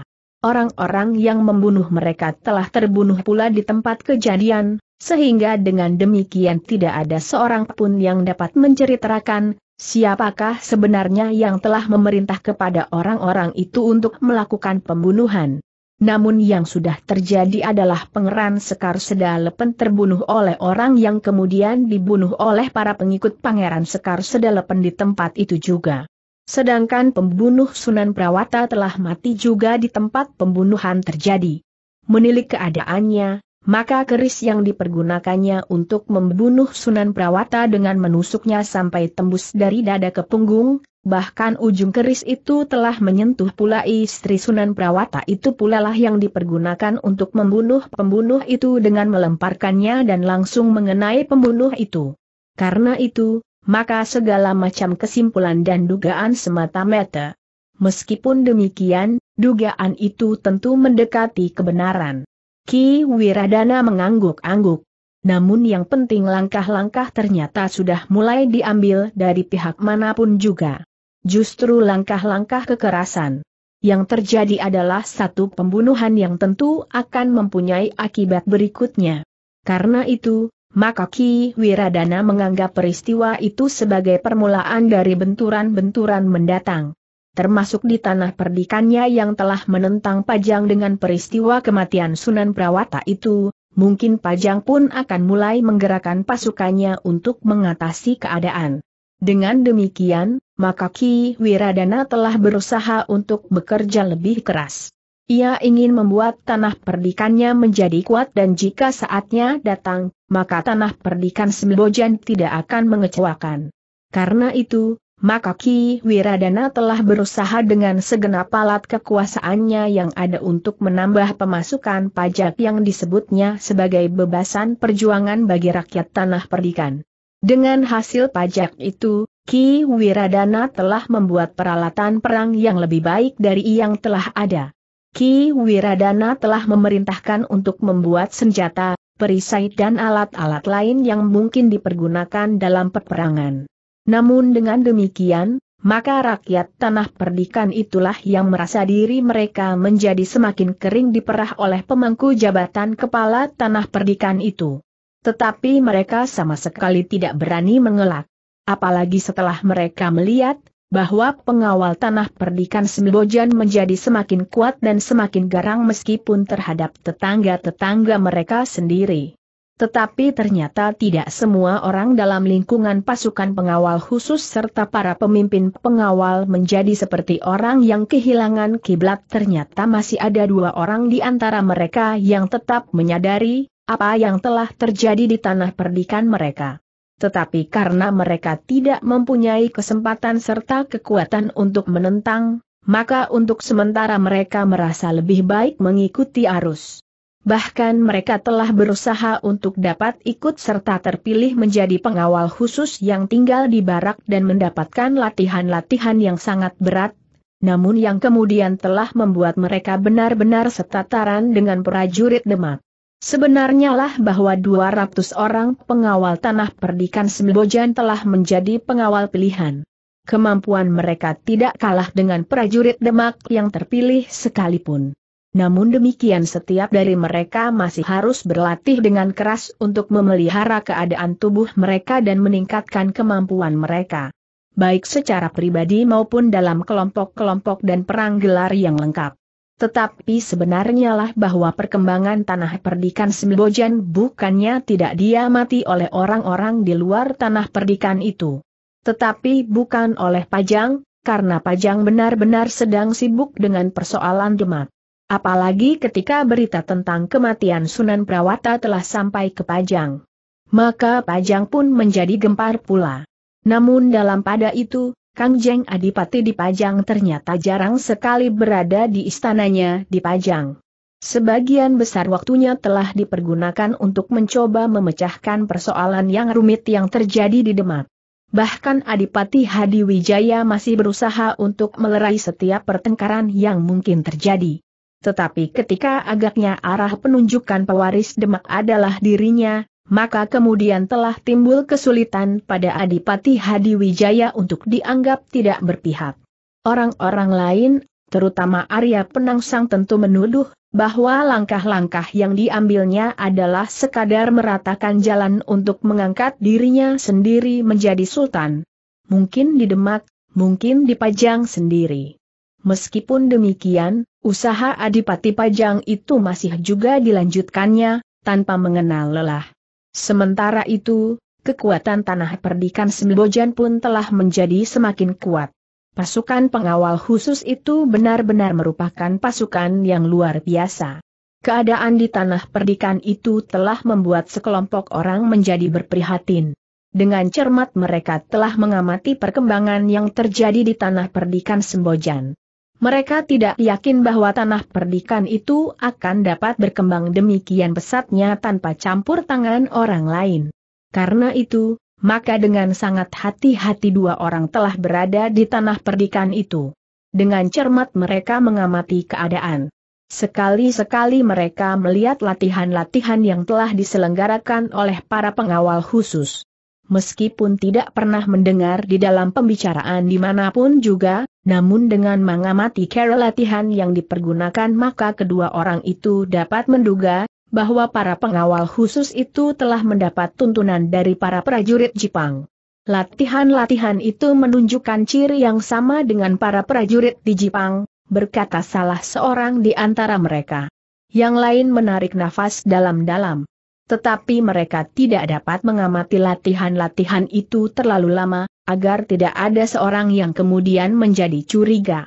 Ketika keduanya meninggalkan tempat-tempat latihan maka yang seorang telah berkata, ya, kita dapat memastikan. Jepang telah ikut campur di dalam persoalan ini. Bukankah tanah perdikan ini sebenarnya termasuk wilayah Pajang bertanya kawannya. Yang lain mengangguk-angguk. Katanya, ya, Tanah perdikan ini memang wilayah Pajang. Jika Jepang memasuki tanah perdikan ini tentu sudah dibicarakannya lebih dahulu dengan Ki Wiradana, sehingga dengan demikian maka tanah perdikan Sembojan ternyata telah berusaha untuk melepaskan diri dari induknya dan berusaha menggabungkan diri dengan Jepang. Mungkin pergolakan yang terjadi di Demak dengan meninggalnya Sultan telah membuat tanah perdikan ini berubah sikap. Kawannya menarik nafas dalam-dalam. Katanya, memang menarik untuk diketahui. Kita sebaiknya mengamati perkembangan ini dengan seksama. Kita biarkan saja saudagar emas itu di penginapannya. Agaknya ia memang dengan sengaja memancing kita untuk merampoknya sekali lagi. Yang lain tersenyum. Katanya, tetapi aku justru ingin melakukannya. Aku ingin mengetahui sampai di mana tataran kemampuan para pengawal itu setelah mereka mendapat latihan-latihan dari orang-orang Jepang. Kita sudah dapat menduganya dengan melihat latihan-latihan yang sekadar dilakukan seperti anak-anak yang sedang bermain sembunyi-sembunyian dan kadang-kadang sedikit bermain senjata. Tetapi aku condong untuk sekadar mengganggu, agar tanah perdikan ini menyadari, bahwa mereka tidak dapat melakukan menurut kehendak hati mereka tanpa dinilai oleh orang lain, berkata yang seorang. Bukankah dapat kita lakukan keduanya sekalipun jawab yang lain? Mengganggu dan sedikit menunjukkan kepada para pengawal yang terlalu berbangga dengan kemampuan itu, bahwa apa yang telah mereka miliki bukan berarti apa-apa bagi mereka yang bertualang di dunia kanuragan. Kawannya mengangguk-angguk. Lalu, apa yang akan kita lakukan? Apakah sebaiknya kita membawa Iswari sekaligus dalam pakaian penarinya desis yang lain? Kita harus bertanya dahulu kepada Kiai Badra atau Kiai Soka, jawab kawannya. Tetapi kita berbuat sesuatu sekarang ini. Yang lain mengangguk-angguk. Lalu katanya, Yang paling mudah adalah mencegat pengawal khusus yang sedang meronda di malam hari. Kita hentikan mereka dan kita rampas kudanya. Kawannya mengangguk-angguk pula, aku sependapat, katanya. Tetapi apakah kita perlu meninggalkan pertanda perguruan Guntur Geni, desis yang seorang? Tetapi kawannya menggeleng. Jawabnya, belum waktunya. Kita masih ingin membuat orang-orang Sembojan kebingungan. Ternyata kedua orang itu benar-benar ingin melakukan apa yang mereka katakan. Mereka ingin menjajagi kemampuan para pengawal khusus, namun sekaligus mereka ingin menunjukkan bahwa ada sesuatu yang harus diperhatikan oleh tanah perdikan Sembojan. Sementara itu, karena sudah cukup lama tidak terjadi sesuatu di tanah perdikan Sembojan, maka para pemimpin pengawal dan para pemimpin tanah perdikan Sembojan itu tidak terlalu banyak memperhitungkan kemungkinan terjadinya kejahatan yang mereka pikirkan adalah peningkatan tataran para pengawal. Jika para pengawal menjadi kuat, maka tentu tidak ada orang yang berani mengganggu ketenangan tanah perdikan itu. Namun yang terjadi ternyata berbeda dengan dugaan orang-orang Sembojan, bahwa sudah tidak ada lagi orang yang berani mengganggu ketenangan tanah perdikan itu. Karena itu, maka para pengawal tidak lagi banyak melakukan pengamatan di atas tanah perdikannya itu. Meskipun demikian sekali-kali masih juga dilakukan perondaan yang melintasi jalan-jalan yang menghubungkan padukuhan yang satu dengan padukuhan yang lain. Itu pun sebenarnya dalam rangka pemeliharaan kewibawaan Ki Wiradana dengan meragakan pasukan pengawal berkudanya. Namun yang terjadi, pada satu malam adalah justru mengejutkan sekali. Ketika dua orang pengawal berkuda melintasi sebuah bulak panjang, maka tiba-tiba mereka telah dihentikan oleh dua orang yang tidak dikenal. Dua orang yang nampaknya kotor sekali, mengenakan caping bambu yang lebar dan bertelanjang dada. Salah seorang dari keduanya telah menyangkutkan ikat kepalanya di lehernya, sedangkan yang lain mengikatkan ikat kepalanya pada lambungnya. Kedua orang pengawal yang merasa pernah ditempa oleh para perwira dari Jepang itu pun menghentikan kuda mereka. Dengan keyakinan yang kuat terhadap diri sendiri, maka keduanya pun telah meloncat turun dan mengikatkan kuda mereka pada batang-batang perdu di pinggir jalan. Sambil bertolak pinggang salah seorang dari keduanya itu pun bertanya, Hi, apakah kalian orang-orang yang sudah gila? Wujud kalian memang mirip dengan orang gila apalagi tingkah laku kalian. Oh, tentu tidak kisanak, berkata salah seorang yang telah menghentikan peronda itu, kami hanya ingin bertanya. Tetapi caramu menghentikan kudaku bukanlah care seseorang yang ingin sekadar bertanya. Tetapi seolah-olah kalian ingin merampok kami. Hi, apakah kalian tidak mengetahui, bahwa kami berdua adalah dua orang dari pasukan pengawal khusus bertanya pengawal itu. Aku tidak tahu kisanak, jawab orang yang menghentikannya. Aku hanya mengetahui bahwa kisanak berdua adalah orang-orang berkuda yang melintas. Pengawal itu mengerutkan keningnya. Kemudian katanya, kau akan bertanya apa? Kedua orang itu termangu-mangu sejenak. Namun kemudian seorang di antara keduanya berkata, kami ingin bertanya, apakah jalan ini menuju ke padukuhan induk tanah perdikan? Kedua pengawal itu mengangguk-angguk.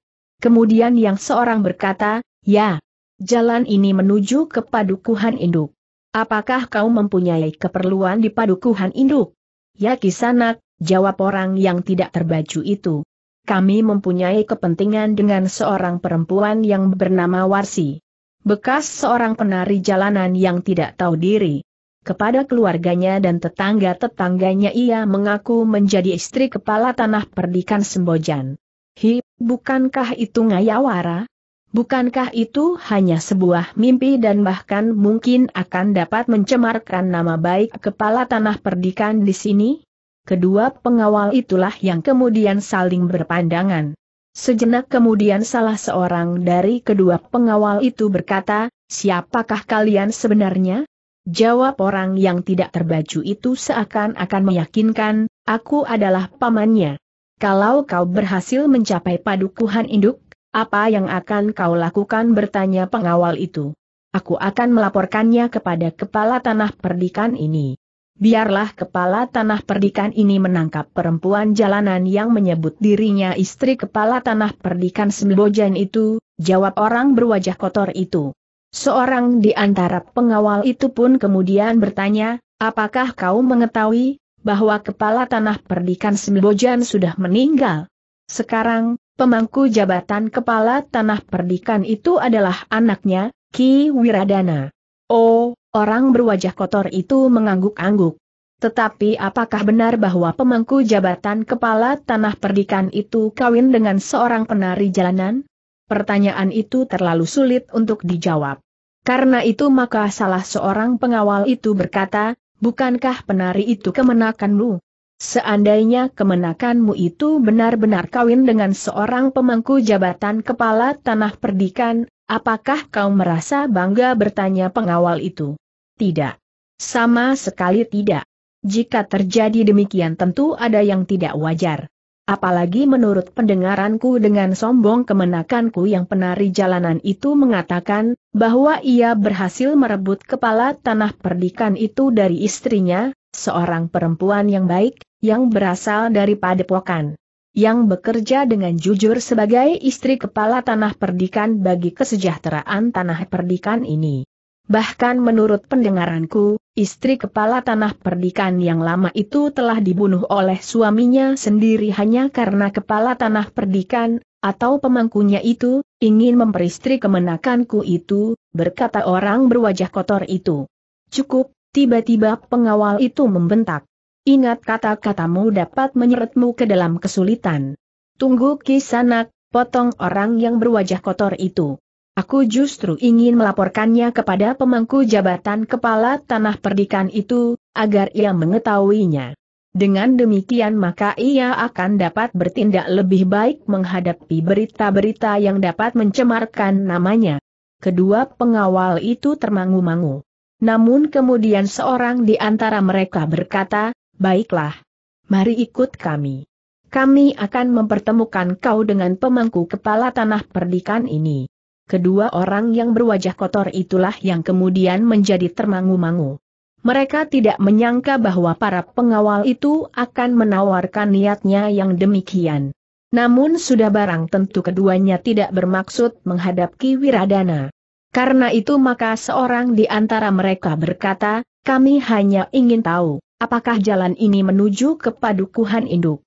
Ya, jalan ini memang menuju ke padukuhan induk. Karena itu, marilah, kita berjalan bersama-sama. Aku akan menuntun kudaku dan bersama-sama pula menghadap Ki Wiradana, pemangku jabatan kepala tanah perdikan ini, jawab salah seorang pengawal itu. Terima kasih, jawab salah seorang dari kedua orang yang berwajah kotor itu. Kami akan pergi sendiri. Kami akan menghadap jika matahari telah terbit. Bukankah menghadap pada saat sekarang ini sudah tidak waktunya lagi? Tetapi kau dapat menunggu dan jika kau tidak pergi ke padukuhan induk sekarang, di mana kau akan bermalam bertanya salah seorang dari kedua pengawal itu. Kami dapat bermalam di mana saja. Mungkin di Banjar padukuhan terdekat. Tetapi mungkin di tempat lain, jawab orang yang menyangkutkan ikat kepala di lehernya. Tidak kisanak, berkata pengawal itu. Justru karena tingkah laku kalian yang aneh, maka sebaiknya kalian pergi ke padukuhan induk bersama kami. Kami berkeberatan kisanak, jawab orang yang mengikatkan ikat kepala di lambungnya. Keberatan atau tidak keberatan, jawab pengawal yang seorang. Tegasnya, kami akan menangkap kalian karena sangat mencurigakan. Tetapi kedua orang berwajah kotor itu menggeleng. Yang seorang berkata, jangan memaksa kisana. Apalagi berusaha menangkap kami. Kami datang dengan maksud baik. Seharusnya kalian justru membantu kami, orang itu berhenti sejenak, lalu tiba-tiba saja ia berkata, Kisana. Bukankah kalian tidak berkeberatan, bahwa untuk kepentingan kami selama berada di tanah perdikan ini, kalian meminjamkan kuda-kuda kalian? Nah, dengan demikian kalian telah membantu kami untuk membersihkan nama baik kepala tanah perdikan kalian. Kedua pengawal itu menjadi tegang. Dengan demikian maka mereka pun pasti, bahwa kedua orang itu memang dengan sengaja ingin membuat persoalan. Karena itu, maka kedua pengawal itu telah bersiap untuk menghadapinya sesuai dengan keadaan. Apalagi keduanya merasa bahwa mereka adalah pengawal khusus yang telah ditempa baik secara berkelompok maupun secara pribadi oleh para perwira dari Jepang. Salah seorang dari kedua pengawal itu pun berkata, kami memang sudah menduga bahwa kalian memang ingin merampok kuda-kuda kami yang besar dan tegar. Tetapi kalian ternyata telah salah langkah. Kami adalah pengawal khusus tanah perdikan ini. Kami adalah orang-orang kepercayaan kepala tanah perdikan ini untuk menghadapi setiap usaha kejahatan. Kami bukan penjahat, jawab salah seorang di antara kedua orang berwajah kotor itu. Kau dapat saja menyebut dirimu bukan penjahat, bahkan seorang penolong atau seorang apa pun juga menurut keinginan lidahmu. Aku tidak akan berkeberatan. Tetapi bahwa kau ingin memiliki kuda kami itu adalah satu unsur kejahatan meskipun kau dapat menyebut dalih apa pun juga. Nah, sekarang kalian tidak usah banyak bicara. Menyerahlah. Sebab jika kami sudah mulai bertindak, akibatnya mungkin akan lain daripada jika kalian sekadar menyerah sebelum melakukan perlawanan, berkata salah seorang dari kedua pengawal itu. Tetapi seorang dari kedua orang berwajah kotor itu justru tertawa. Katanya, kenapa kami harus menyerah untuk ditangkap, sementara kami merasa diri kami justru berjasa. Kedua orang pengawal itu benar-benar telah kehilangan kesabaran. Yang seorang telah memberikan isyarat kepada yang lain, sehingga keduanya pun kemudian telah melangkah merenggang untuk mengambil jarak yang satu dengan yang lain. Keduanya telah bersiap menghadapi kedua orang yang berwajah kotor itu. Ternyata kedua orang berwajah kotor itu pun telah bersiap pula. Tanpa melepaskan caping mereka yang lebar, mereka pun telah mengambil jarak pula, sehingga dengan demikian maka mereka telah berhadapan seorang dengan seorang. Kedua pengawal itu berusaha untuk mengenali wajah kedua orang yang dengan sengaja telah mengganggu mereka. Tetapi selain wajah itu kotor, wajah itu seolah-olah telah terlindung oleh bayangan caping mereka yang lebar yang menutupi kepala mereka. Sehingga dengan demikian, kedua pengawal itu sama sekali tidak melihat garis-garis wajah lawan-lawannya. Apalagi dalam keremangan malam. Dengan demikian, maka memang tidak ada pilihan lain dari para pengawal itu selain memaksa keduanya menyerah dengan kekerasan. Sejenak kemudian, maka orang-orang yang sudah siap itu mulai bergerak. Lambat, tetapi masing-masing berusaha untuk mengetahui kemungkinan yang mereka hadapi dalam olah kanuragan. Selangkah demi selangkah, maka mereka pun mulai memancing perkelahian. Serangan-serangan yang pertama bukannya serangan yang sebenarnya. Namun ketika tangan dan kaki mereka telah mulai bersentuhan, maka mulailah mereka berloncatan serangan-serangan pun menjadi semakin mantap dan kuat. Sementara gerak mereka pun menjadi semakin cepat. Orang yang mengikatkan ikat kepalanya di lambung telah berkelahi dengan pengawal yang bertubuh tinggi. Meskipun badannya tidak terlalu besar, tetapi agaknya anak muda itu memiliki kemampuan gerak yang sangat cepat. Tangan dan kakinya termasuk panjang sebagaimana tubuhnya yang tinggi. Dengan kemampuan yang disadapnya dari para perwira Jepang, maka anak muda yang bertubuh tinggi itu telah menyerang lawannya dengan kekuatan yang semakin meningkat dan kecepatan yang semakin tinggi. Orang yang mengikatkan ikat kepalanya di lambung itu seolah-olah hanya melayaninya saja.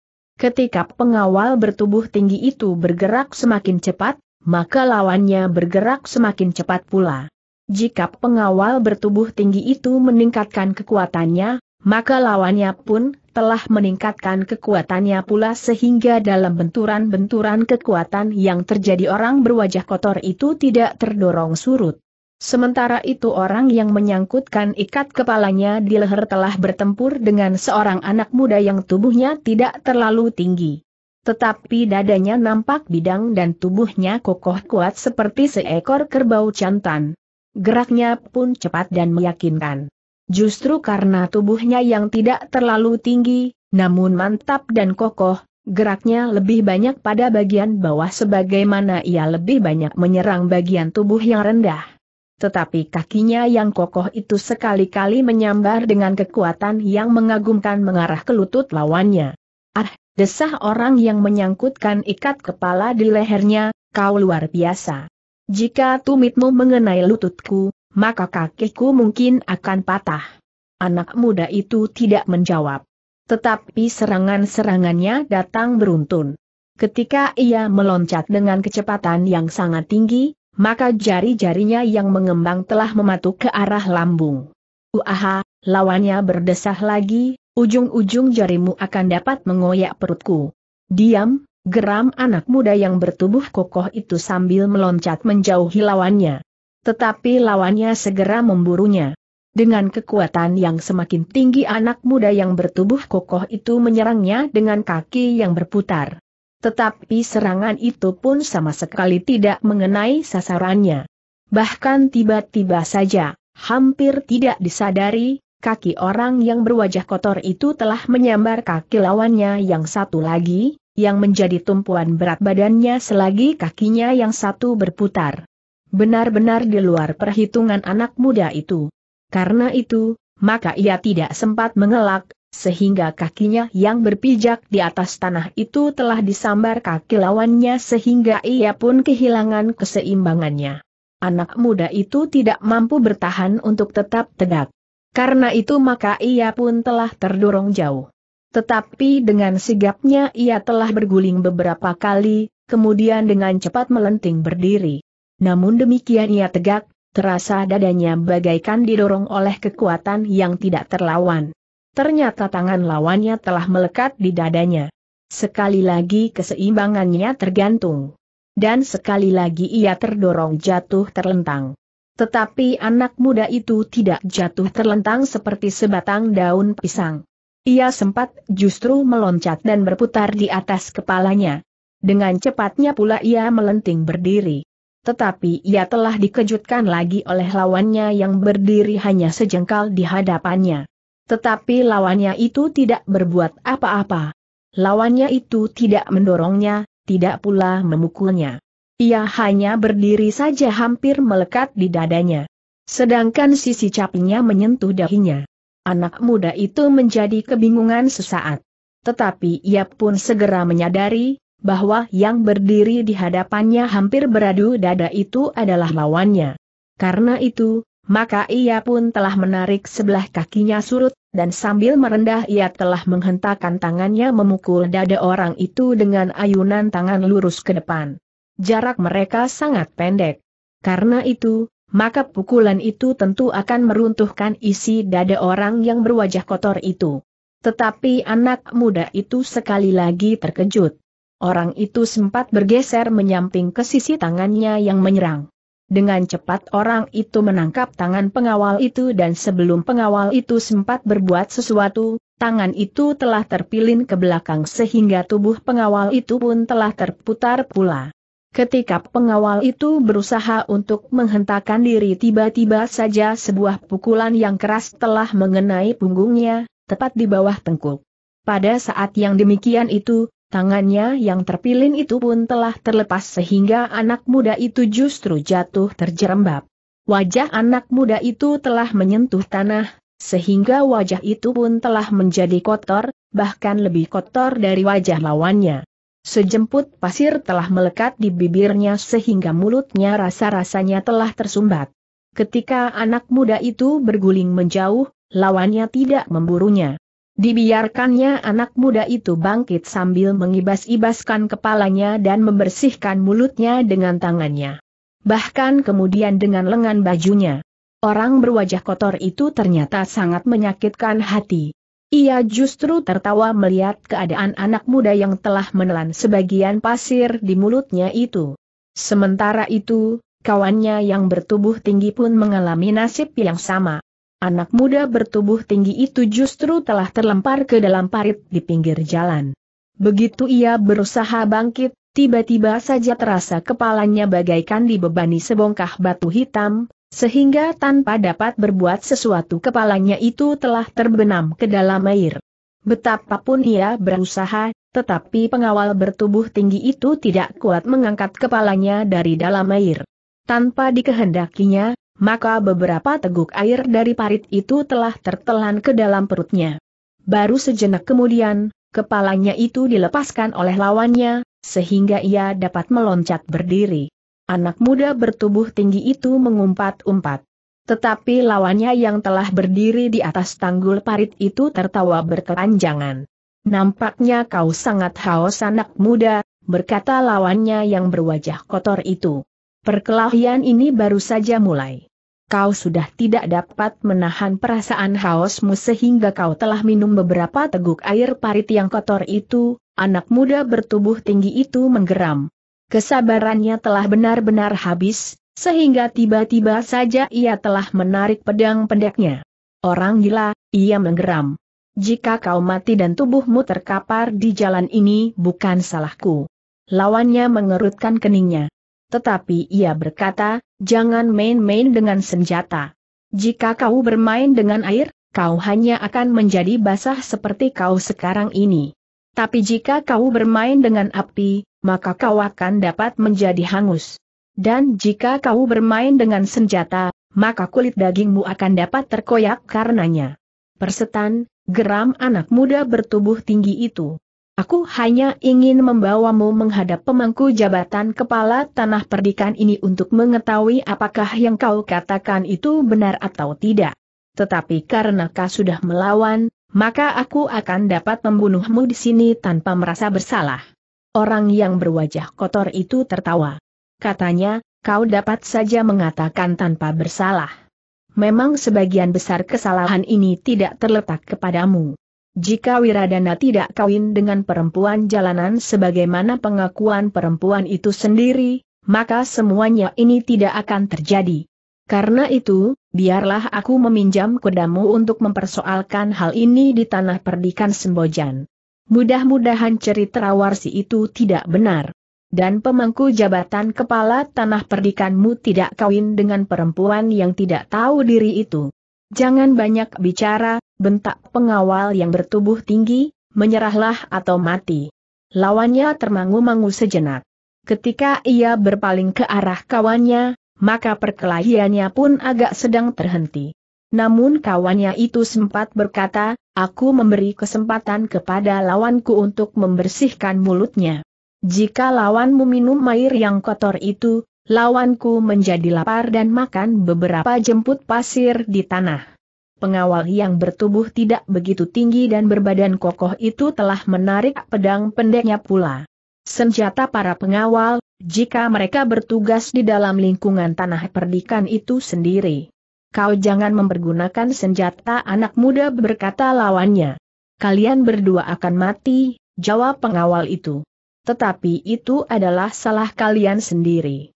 Kami sudah berbaik hati dengan tawaran kami untuk membawa kalian menghadap Wiradana.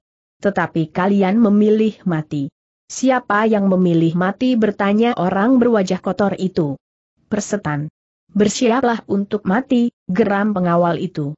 Lawannya masih akan menjawab tetapi ia justru berpaling ketika ia mendengar pengawal bertubuh tinggi itulah yang kemudian menggeram sambil meloncat menyerang lawannya yang berdiri di tanggul parit. Hi, kau benar-benar bermain-main dengan pedang pendekmu itu berkata lawannya sambil meloncat menghindar. Ingat, pedang itu adalah salah satu ciri pengawal khusus tanah perdikan Sembojan. Karena itu, jangan kau pergunakan seenaknya. Senjata itu dibuat dengan uang yang dipungut dari rakyat tanah perdikan ini, sehingga jangan kau nodai dengan penggunaan yang tidak sepantasnya. Pedang itu seharusnya kau pergunakan untuk berbuat baik bagi kepentingan rakyat. Dengan pedang itu kau seharusnya melindungi aku yang ingin berbuat baik bagi tanah perdikan ini. Jangan mengigau lagi, geram pengawal itu. Pedang pendek ini memang ciri senjata para pengawal khusus. Karena itu, jika pedang pendek ini sudah berada di tangan, berarti akan terjadi pembunuhan. Jika seorang pengawal terpaksa membunuh, maka ia bertindak demi kepentingan tanah perdikan ini. Lawannya tidak menjawab. Tetapi ia pun telah menyerang dengan garangnya. Orang bertubuh kekar itu pun telah bersiap. Dengan nada datar ia berkata, nasibmu tidak akan berbeda. Kau telah menjerumuskan dirimu sendiri ke dalam kesulitan yang tidak akan dapat kau atasi.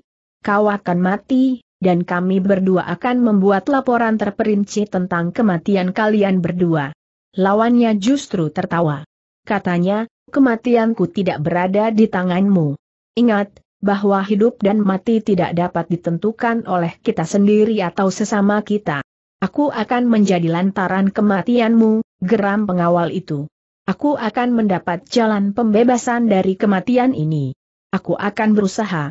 Dan baiklah kita akan melihat, siapakah yang usahanya dibenarkan oleh Yang Maha Menentukan. Kau atau aku desis lawannya. Keduanya tidak berbicara lagi. Pedang pendek pengawal itu mulai bergerak. Kemudian dengan garangnya ia telah meloncat menyerang. Tetapi lawannya benar-benar telah bersiap. Karena itu, ketika serangan itu datang, maka dengan tangkasnya orang berwajah kotor dan memakai caping yang lebar itu telah meloncat menghindar. Namun pengawal itu tidak melepaskannya. Dengan cepat pula ia meloncat memburu. Pedangnya menyambar mendatar ke arah perut. Sentuhan ujung pedang yang tajam itu akan dapat membelah perut lawannya tetapi pedang itu tidak menyentuh sasaran sama sekali. Sejenak kemudian pertempuran pun menjadi semakin sengit. Kedua pengawal yang bersenjata pedang itu bertempur dengan kemarahan yang membakar isi dada. Karena itu, maka dengan penuh nafsu untuk menghancurkan lawan-lawan mereka, pedang mereka telah terayun-ayun dengan dahsyatnya. Suaranya berdesing seperti suara gasing. Menyambar-nyambar dari segala arah. Tetapi lawan-lawan mereka pun memiliki kemampuan bergerak melampaui kecepatan sambaran pedang itu. Karena itu, maka kedua ujung pedang itu sama sekali tidak mengenai sasarannya. Untuk beberapa lamanya, keempat orang itu masih terlibat dalam pertempuran. Tata gerak mereka yang semakin cepat, telah memaksa mereka mengerahkan tenaga yang ada di dalam diri mereka bahkan didorong oleh kemampuan tenaga cadangan mereka. Namun usaha para pengawal untuk menghabisi perlawanan kedua orang berwajah kotor dan memakai caping yang lebar itu tidak dapat segera mereka lakukan. Bahkan rasa-rasanya keduanya justru telah bergerak semakin cepat. Pedang-pedang pendek para pengawal itu masih belum dapat menyentuh keduanya. Kedua pengawal itu telah mengerahkan segenap kemampuan dan tenaga mereka. Karena itu, dengan hentakan-hentakan yang kuat dan mengerahkan segenap tenaga cadangannya, maka kedua pengawal itu berusaha melibat lawannya semakin cepat. Pedang mereka berputaran dan terayun-ayun mengerikan, bagaikan gumpalan awan yang bergulung-gulung melanda lawan-lawan mereka. Tetapi kedua lawannya itu mampu bergerak bagaikan tatit di langit dengan kecepatan yang tidak terjangkau oleh gumpalan-gumpalan awan yang bergulung itu, mereka sempat menghindarkan diri dari bahaya yang akan dapat mengulung nasib mereka dan dengan demikian, menghentikan perlawanan mereka. Namun kedua orang itu ternyata tidak terkapar di tengah jalan karena pedang-pedang lawannya. Mereka justru telah memancing kedua pengawal itu untuk mengerahkan segenap kemampuan mereka dan memeras seluruh tenaga mereka.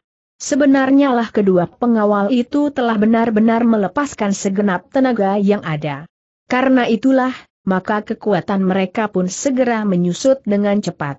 Tangan mereka tidak lagi mampu mengayunkan pedang mereka dengan kecepatan yang mantap. Sementara kaki mereka menjadi terasa sangat berat bagaikan melekat di tanah. Kedua orang berwajah kotor itu mulai tersenyum. Dalam keadaan yang demikian, maka mereka mulai menentukan langkah berikutnya dari permainan mereka. Pada saat kedua orang pengawal itu telah hampir kehabisan tenaga, maka mulailah kedua orang itu justru menyerang. Sekali-kali tangan mereka berhasil menyentuh pundak, punggung dan bahkan tengkuk.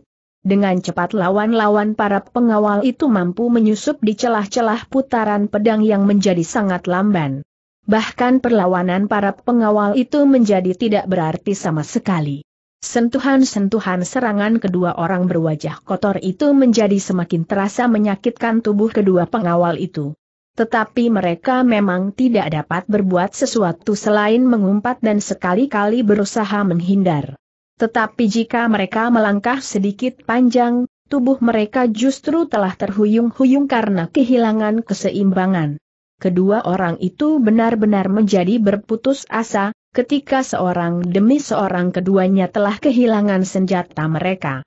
Dengan kecepatan yang masih utuh, Lawan pengawal yang tinggi itu sempat menendang pergelangan tangannya sehingga pedangnya telah terlempar, sementara yang lain justru berhasil merebut pedang pendek pengawal yang bertubuh kotor itu.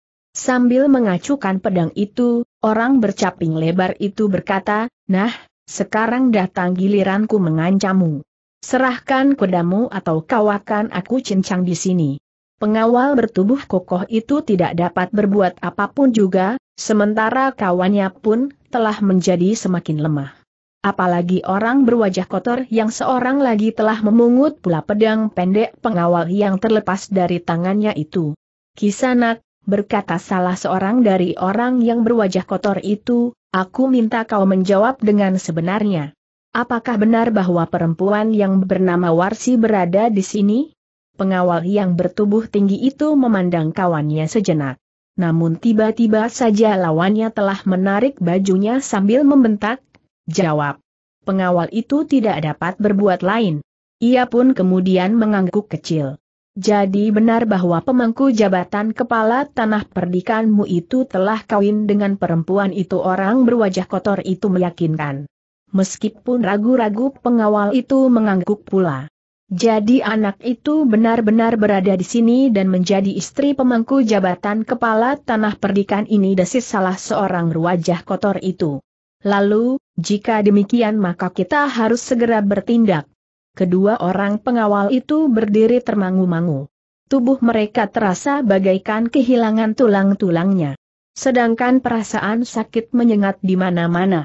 Kisanak, berkata salah seorang di antara kedua orang yang mencegat mereka, apakah kalian sadari, apa yang telah terjadi di tanah perdikan ini sejak Ki Wiradana kawin dengan perempuan yang bernama Warsi itu?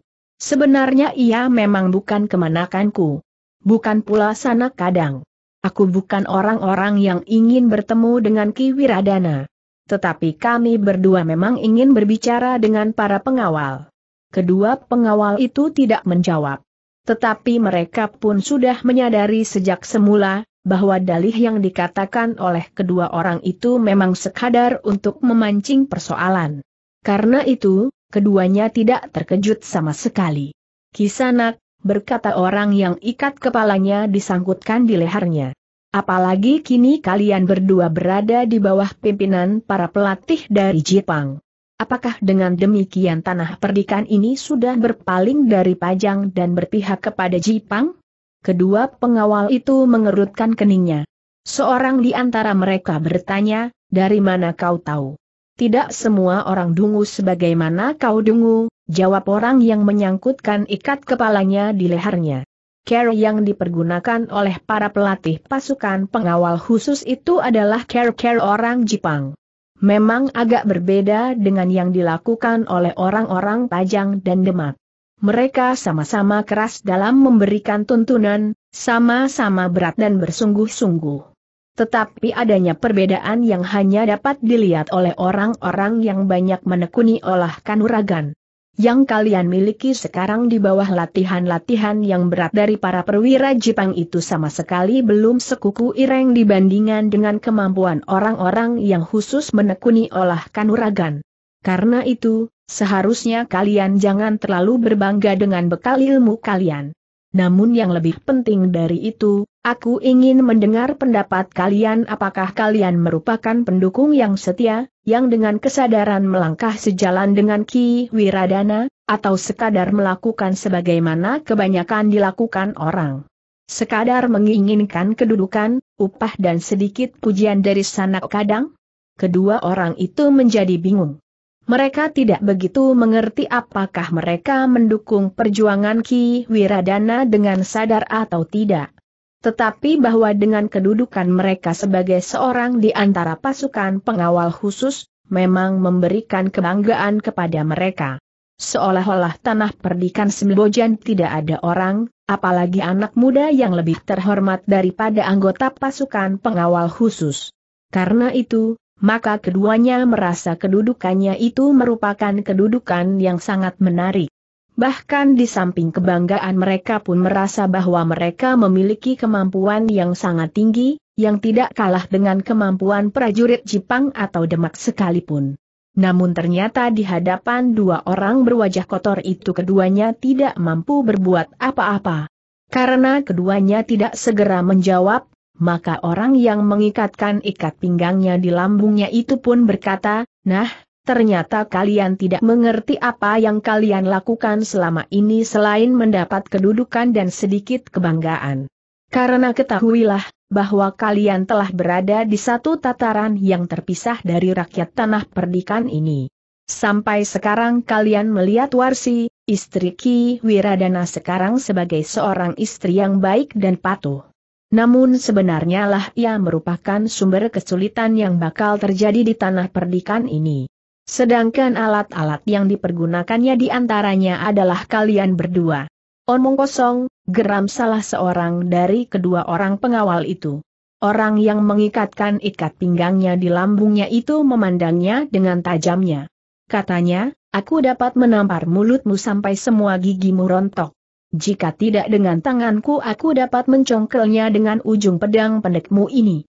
Tetapi dengar, aku tidak omong kosong. Jika kau mempunyai telinga, cobalah dengarkan keluh kesah rakyat tanah perdikan ini. Jika kau mempunyai mata, lihatlah tataran kehidupan rakyat yang menjadi semakin melarat. Nah, terserah kepada kalian, apa yang akan kalian lakukan. Aku tidak banyak berkepentingan dengan tanah perdikan ini. Tetapi aku mempunyai telinga dan mempunyai mata untuk mendengar dan melihat. Kedua orang pengawal itu termangu-mangu. Namun mereka mendengarkan pendapat kedua orang yang tidak dikenalnya itu. Namun tiba-tiba salah seorang di antara kedua orang berwajah kotor itu bertanya, apakah kalian pernah melihat penari yang disebut-sebut mirip dengan Nyai Wiradana yang dahulu? Hampir di luar sadarnya keduanya menggeleng. Hampir berbareng pula keduanya menjawab, belum. Nah, kalian harus memperhatikan berita itu. Mungkin di antara para pengawal ada yang pernah melihatnya. Karena ada di antara mereka yang pernah memburunya. Tetapi tidak berhasil menangkapnya, berkata orang berwajah kotor itu. Kedua pengawal itu masih saja terdiam. Tetapi sebenarnya lah mereka mendengar semua yang dikatakan oleh kedua orang berwajah kotor itu. Bukan saja mendengar, tetapi mereka mulai tertarik kepada kata-katanya seolah-olah keduanya telah memberikan sesuatu yang baru, yang selama itu mereka sisihkan dari perhatian mereka. Nah, berkata orang yang memakai caping lebar dan menyangkutkan ikat kepalanya di lehernya, sekarang, aku memerlukan kuda-kuda kalian. Sebenarnya kuda itu tidak perlu sama sekali bagi kami. Tetapi dengan demikian, maka kami telah membuat suatu persoalan yang benar-benar harus kalian laporkan. Itu tidak mungkin, sahut salah seorang di antara kedua pengawal itu. Kenapa tidak? Bukankah lebih baik aku membawa kuda kalian daripada aku harus membantai kalian di sini jawab orang yang menyangkutkan ikat kepala di lehernya. Pengawal itu tidak menjawab. Mereka memang tidak akan dapat melawan. Sementara mereka menggenggam pedang di tangan, mereka tidak dapat berbuat apa-apa apalagi pedang mereka telah berpindah tangan. Nah, menyingkirlah, berkata yang menyangkutkan ikat kepalanya di lehernya. Kami akan mengambil kuda-kuda kalian. Kedua orang pengawal itu pun bergeser mundur. Mereka memang tidak dapat berbuat lain. Sementara orang yang mengambil kuda mereka itu pun berkata, jika kalian tidak kehilangan kuda kalian, kalian dapat menutupi kekalahan kalian dan tidak melaporkan apa yang terjadi sekarang ini. Tetapi jika kalian kembali ke barak tanpa kuda kalian, maka kalian tidak akan dapat ingkar, bahwa kalian telah dikalahkan dan tidak dapat mempertahankan kuda-kuda kalian. Kedua pengawal itu hanya dapat mengumpat. Tetapi mereka tidak dapat mencegah kedua orang itu mengambil kuda mereka dan kemudian meloncat ke punggung kuda itu. Terima kasih, berkata orang yang mengikatkan ikat kepala di lambung. Kedua ekor kuda itu pun kemudian telah berderap meninggalkan para pengawal yang termangu-mangu. Namun beberapa langkah dari keduanya, kuda-kuda itu berhenti. Kedua orang yang menunggang kuda itu pun telah melemparkan pedang-pedang pendek para pengawal itu sambil berkata, inilah ciri kebesaran kalian. Namun ingat, bahwa jika kalian benar-benar akan menjadi pengikut orang-orang Jepang, maka kalian akan berhadapan dengan Pajang. Dan apabila kalian tidak juga mau mendengar keluh kesah dan melihat kesulitan hidup orang-orang tanah perdikan ini, maka kalian berhadapan dengan orang-orang tanah perdikan ini, yang terdiri atas keluarga kalian sendiri. Demikian orang itu selesai berbicara, maka mereka pun telah memacu kuda mereka meninggalkan kedua orang pengawal yang termangu-mangu itu. Baru ketika kuda-kuda itu lenyap di tikungan bagaikan ditelan gelapnya malam, maka para pengawal itu menarik nafas dalam-dalam. Permainan yang gila, geram salah seorang dari kedua pengawal itu, aku tidak mengerti, apa yang sebenarnya mereka kehendaki. Kawannya, pengawal yang bertubuh kekar kokoh itu pun menyahut, mereka sekadar ingin mengguncang tanah perdikan ini. Agaknya keduanya adalah pengikut Nyai Wiradana yang hilang itu. Bukankah mereka menyebut-nyebut nama Nyai Wiradana?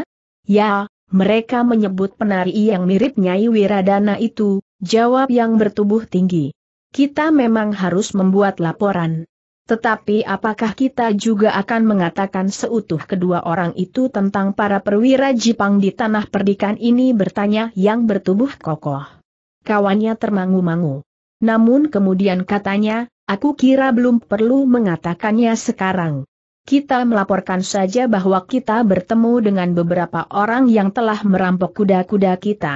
Kita berada di bulak yang jauh dari padukuhan sehingga kita tidak sempat membunyikan isyarat bahwa ada sekelompok perampok yang memasuki tanah perdikan ini. Yang lain mengangguk-angguk. Katanya, marilah kita sadar bahwa kita akan mendapat hukuman karenanya. Tetapi itu lebih baik karena kita tidak dicincang di sini. Kedua orang itu tentu mempunyai maksud jauh daripada sekadar mengadakan kekacauan di sini di tanah perdikan ini. Aku sependapat, bahwa tentu ada hubungannya dengan Nyai Wiradana yang terdahulu, desis pengawal yang bertubuh tinggi. Mungkin Nyai Wiradana yang terdahulu dengan sengaja telah meninggalkan suaminya ketika ia mendengar bahwa suaminya telah berhubungan dengan seorang penari jalanan, berkata pengawal yang bertubuh kokoh itu tiba-tiba, di tempat persembunyiannya ia telah membangun suatu kekuatan yang akan dapat mengimbangi kekuatan Ki Wiradana. Mungkin kedua orang itu termasuk pendukungnya.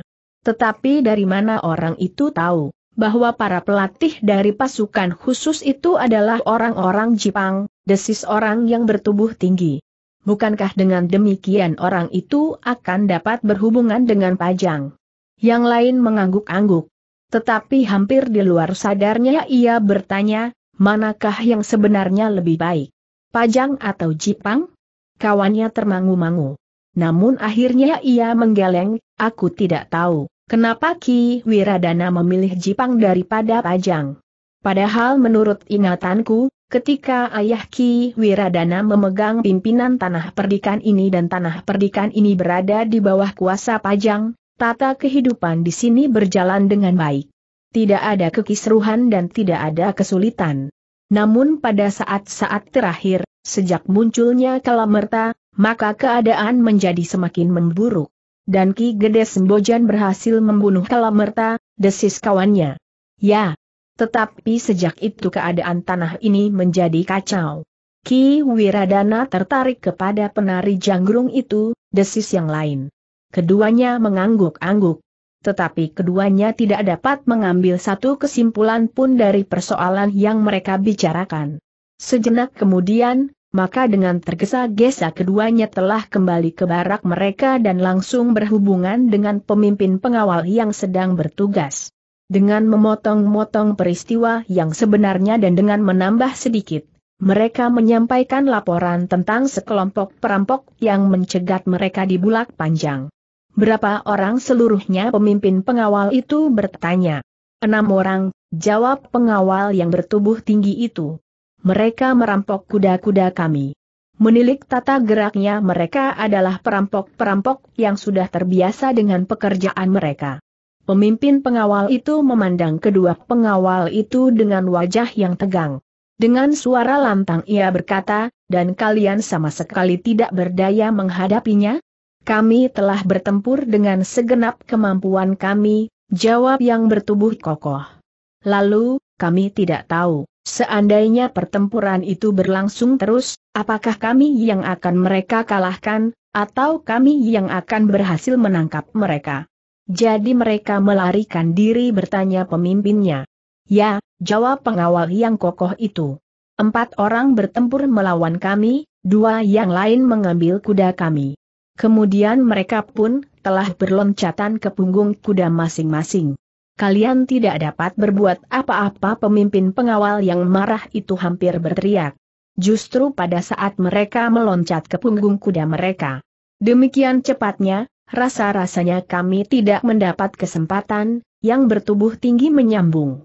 Dua orang lebih dahulu meloncat ke punggung kuda, sementara yang dua orang berusaha menahan kami, namun yang kemudian, dua orang yang sudah berada di punggung kuda itulah yang menyerang kami dari atas kudanya, sehingga memberikan kesempatan kedua orang kawannya yang lain naik ke atas kudanya pula. Sejenak kemudian, mereka telah memacu kuda mereka serta membawa kuda-kuda kami bersama mereka. Pemimpin pengawal itu termangu-mangu. Namun tiba-tiba saja ia bertanya, tetapi kenapa wajah kalian menjadi kotor dan kau menjadi basah kuyup? Kedua pengawal itu tergugup. Pengawal yang bertubuh tinggi itu menjawab, aku membersihkan kepalaku dengan air di pinggir jalan itu.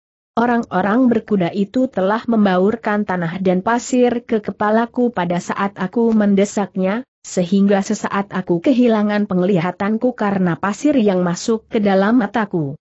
Dan kau mencuci kepalamu dengan debu bertanya pemimpin pengawal itu kepada pengawal yang bertubuh kokoh. Pengawal yang bertubuh kokoh itu menjadi bingung. Tetapi ia pun kemudian menjawab, aku tidak mencuci kepalaku. Tetapi cara lawanku pun tidak berbeda dengan cara yang sudah dilakukan oleh kawan-kawannya. Tetapi selain itu aku memang jatuh tertelungkup ketika aku berusaha mengejar orang-orang berkuda itu. Aku demikian tergesa-gesa dan pada saat mereka melarikan diri aku memang menjadi bingung dan tidak tahu apa yang harus aku lakukan, sehingga langkahku yang tergesa-gesa itu membuat aku kehilangan keseimbangan. Pemimpin pengawal itu termangu-mangu sejenak. Namun akhirnya ia berkata, meskipun agak ragu-ragu, tetapi aku terima alasan kalian untuk sementara. Meskipun demikian, bahwa kalian telah kehilangan kuda kalian, maka kalian harus menunggu keputusan yang akan diambil terhadap kalian untuk mempertanggungjawabkan kelengahan kalian itu. Kedua pengawal itu tidak menjawab. Tetapi mereka sudah menduga, bahwa mereka akan mendapat hukuman karenanya. Ketika keduanya mendapat kesempatan untuk membenahi diri, maka orang yang bertubuh tinggi itu berkata, aku menjadi tidak sabar menunggu pagi, agar jalan itu dilalui pedati dan orang-orang yang pergi ke pasar. Kenapa bertanya yang bertubuh kokoh? Aku cemas jika laporan ini didengar oleh para pelatih dari Jepang dan mereka dengan teliti melihat bekas perkelahian itu. Bukankah sama sekali tidak ada bekas perkelahian berkuda berkata orang yang bertubuh tinggi. Kawannya mengangguk-angguk. Ia pun menjadi cemas pula karenanya. Namun ternyata bahwa mereka tidak melihat usaha untuk melihat bekas sarna itu sehingga matahari terbit. Dengan demikian maka segala jejak dan bekas pun akan terhapus oleh kaki orang-orang yang akan ke pasar serta pedati atau kaki-kaki kuda termasuk kuda beban. Baru setelah keduanya yakin bahwa para pemimpin pengawal dan para pelatih dari Jepang itu tidak melihat bukti kebohongan mereka, barulah mereka sempat beristirahat. Mereka sempat memejamkan mata sekejap. Namun sebentar kemudian mereka pun harus sudah bangun. Ketika keduanya keluar dari dalam bilik, mereka melihat barak mereka telah kosong. Kawan-kawan mereka telah pergi keluar untuk berlatih bagi ketahanan tubuh mereka seperti yang setiap hari mereka lakukan, kecuali yang semalam bertugas dan yang masih belum selesai bertugas. Kedua orang pengawal itu pun segera membenahi dirinya, karena waktu istirahat mereka akan segera habis. Sebentar lagi mereka harus bersiap mengikuti upacara serah terima tugas. Baru kemudian mereka mendapat istirahat sehari penuh. Namun menjelang sore mereka harus sudah bersiap ke barak mereka lagi untuk mengikuti latihan-latihan yang diadakan terus-menerus di bawah pimpinan para perwira di Jepang. Namun sementara itu, keduanya masih juga berbicara tentang kedua orang yang mereka jumpai itu. Ternyata mereka adalah orang-orang yang memiliki penglihatan yang tajam di dalam bidang olah kanuragan. Ternyata mereka mengetahui hanya dengan melihat care-care berlatih, bahwa pelatih itu adalah orang-orang Jepang. Apa maksud mereka sebenarnya pertanyaan itulah yang selalu mengganggu kedua pengawal itu. Ternyata pertanyaan itu selalu saja timbul meskipun mereka berusaha melupakannya, sehingga akhirnya keduanya tidak mampu lagi menyimpannya di dalam hati. Keduanya dapat merahasiakan kehadiran para pelatih dari Jepang itu dan tidak membocorkannya kepada siapa pun tetapi mereka tidak dapat menyimpan rahasia mereka sendiri tentang kedua orang itu. Tetapi keduanya tidak dapat mengatakan kepada sembarang orang. Keduanya ternyata juga memilih orang yang mereka anggap cukup dewasa untuk menanggapi keadaan yang mereka alami. Orang yang tidak akan mungkin mencelakakannya. Aku telah memberikan laporan palsu, berkata orang yang bertubuh tinggi itu kepada seorang kawannya yang dianggap akan dapat memberikan pertimbangan kepadanya, apakah sebaiknya ia berterus terang kepada pemimpin pengawal yang masih belum memutuskan hukuman apakah yang akan diberikan kepadanya. Aku kira begitu, berkata orang itu. Nampaknya kedua orang itu mempunyai tujuan yang sangat luas di tanah perdikan ini. Kedua orang itu juga menyebut-nyebut tentang Nyai Wiradana keduanya. Baik yang sudah hilang maupun yang sekarang dalam perbandingan yang berlawanan. Mereka memuji Nyai Wiradana yang hilang itu dan mencela yang sekarang sampai habis-habisan, berkata yang bertubuh kokoh. Orang itu pun mengatakan tentang penari yang mirip dengan Nyai Wiradana yang hilang itu. Sayang aku belum pernah melihat penari itu.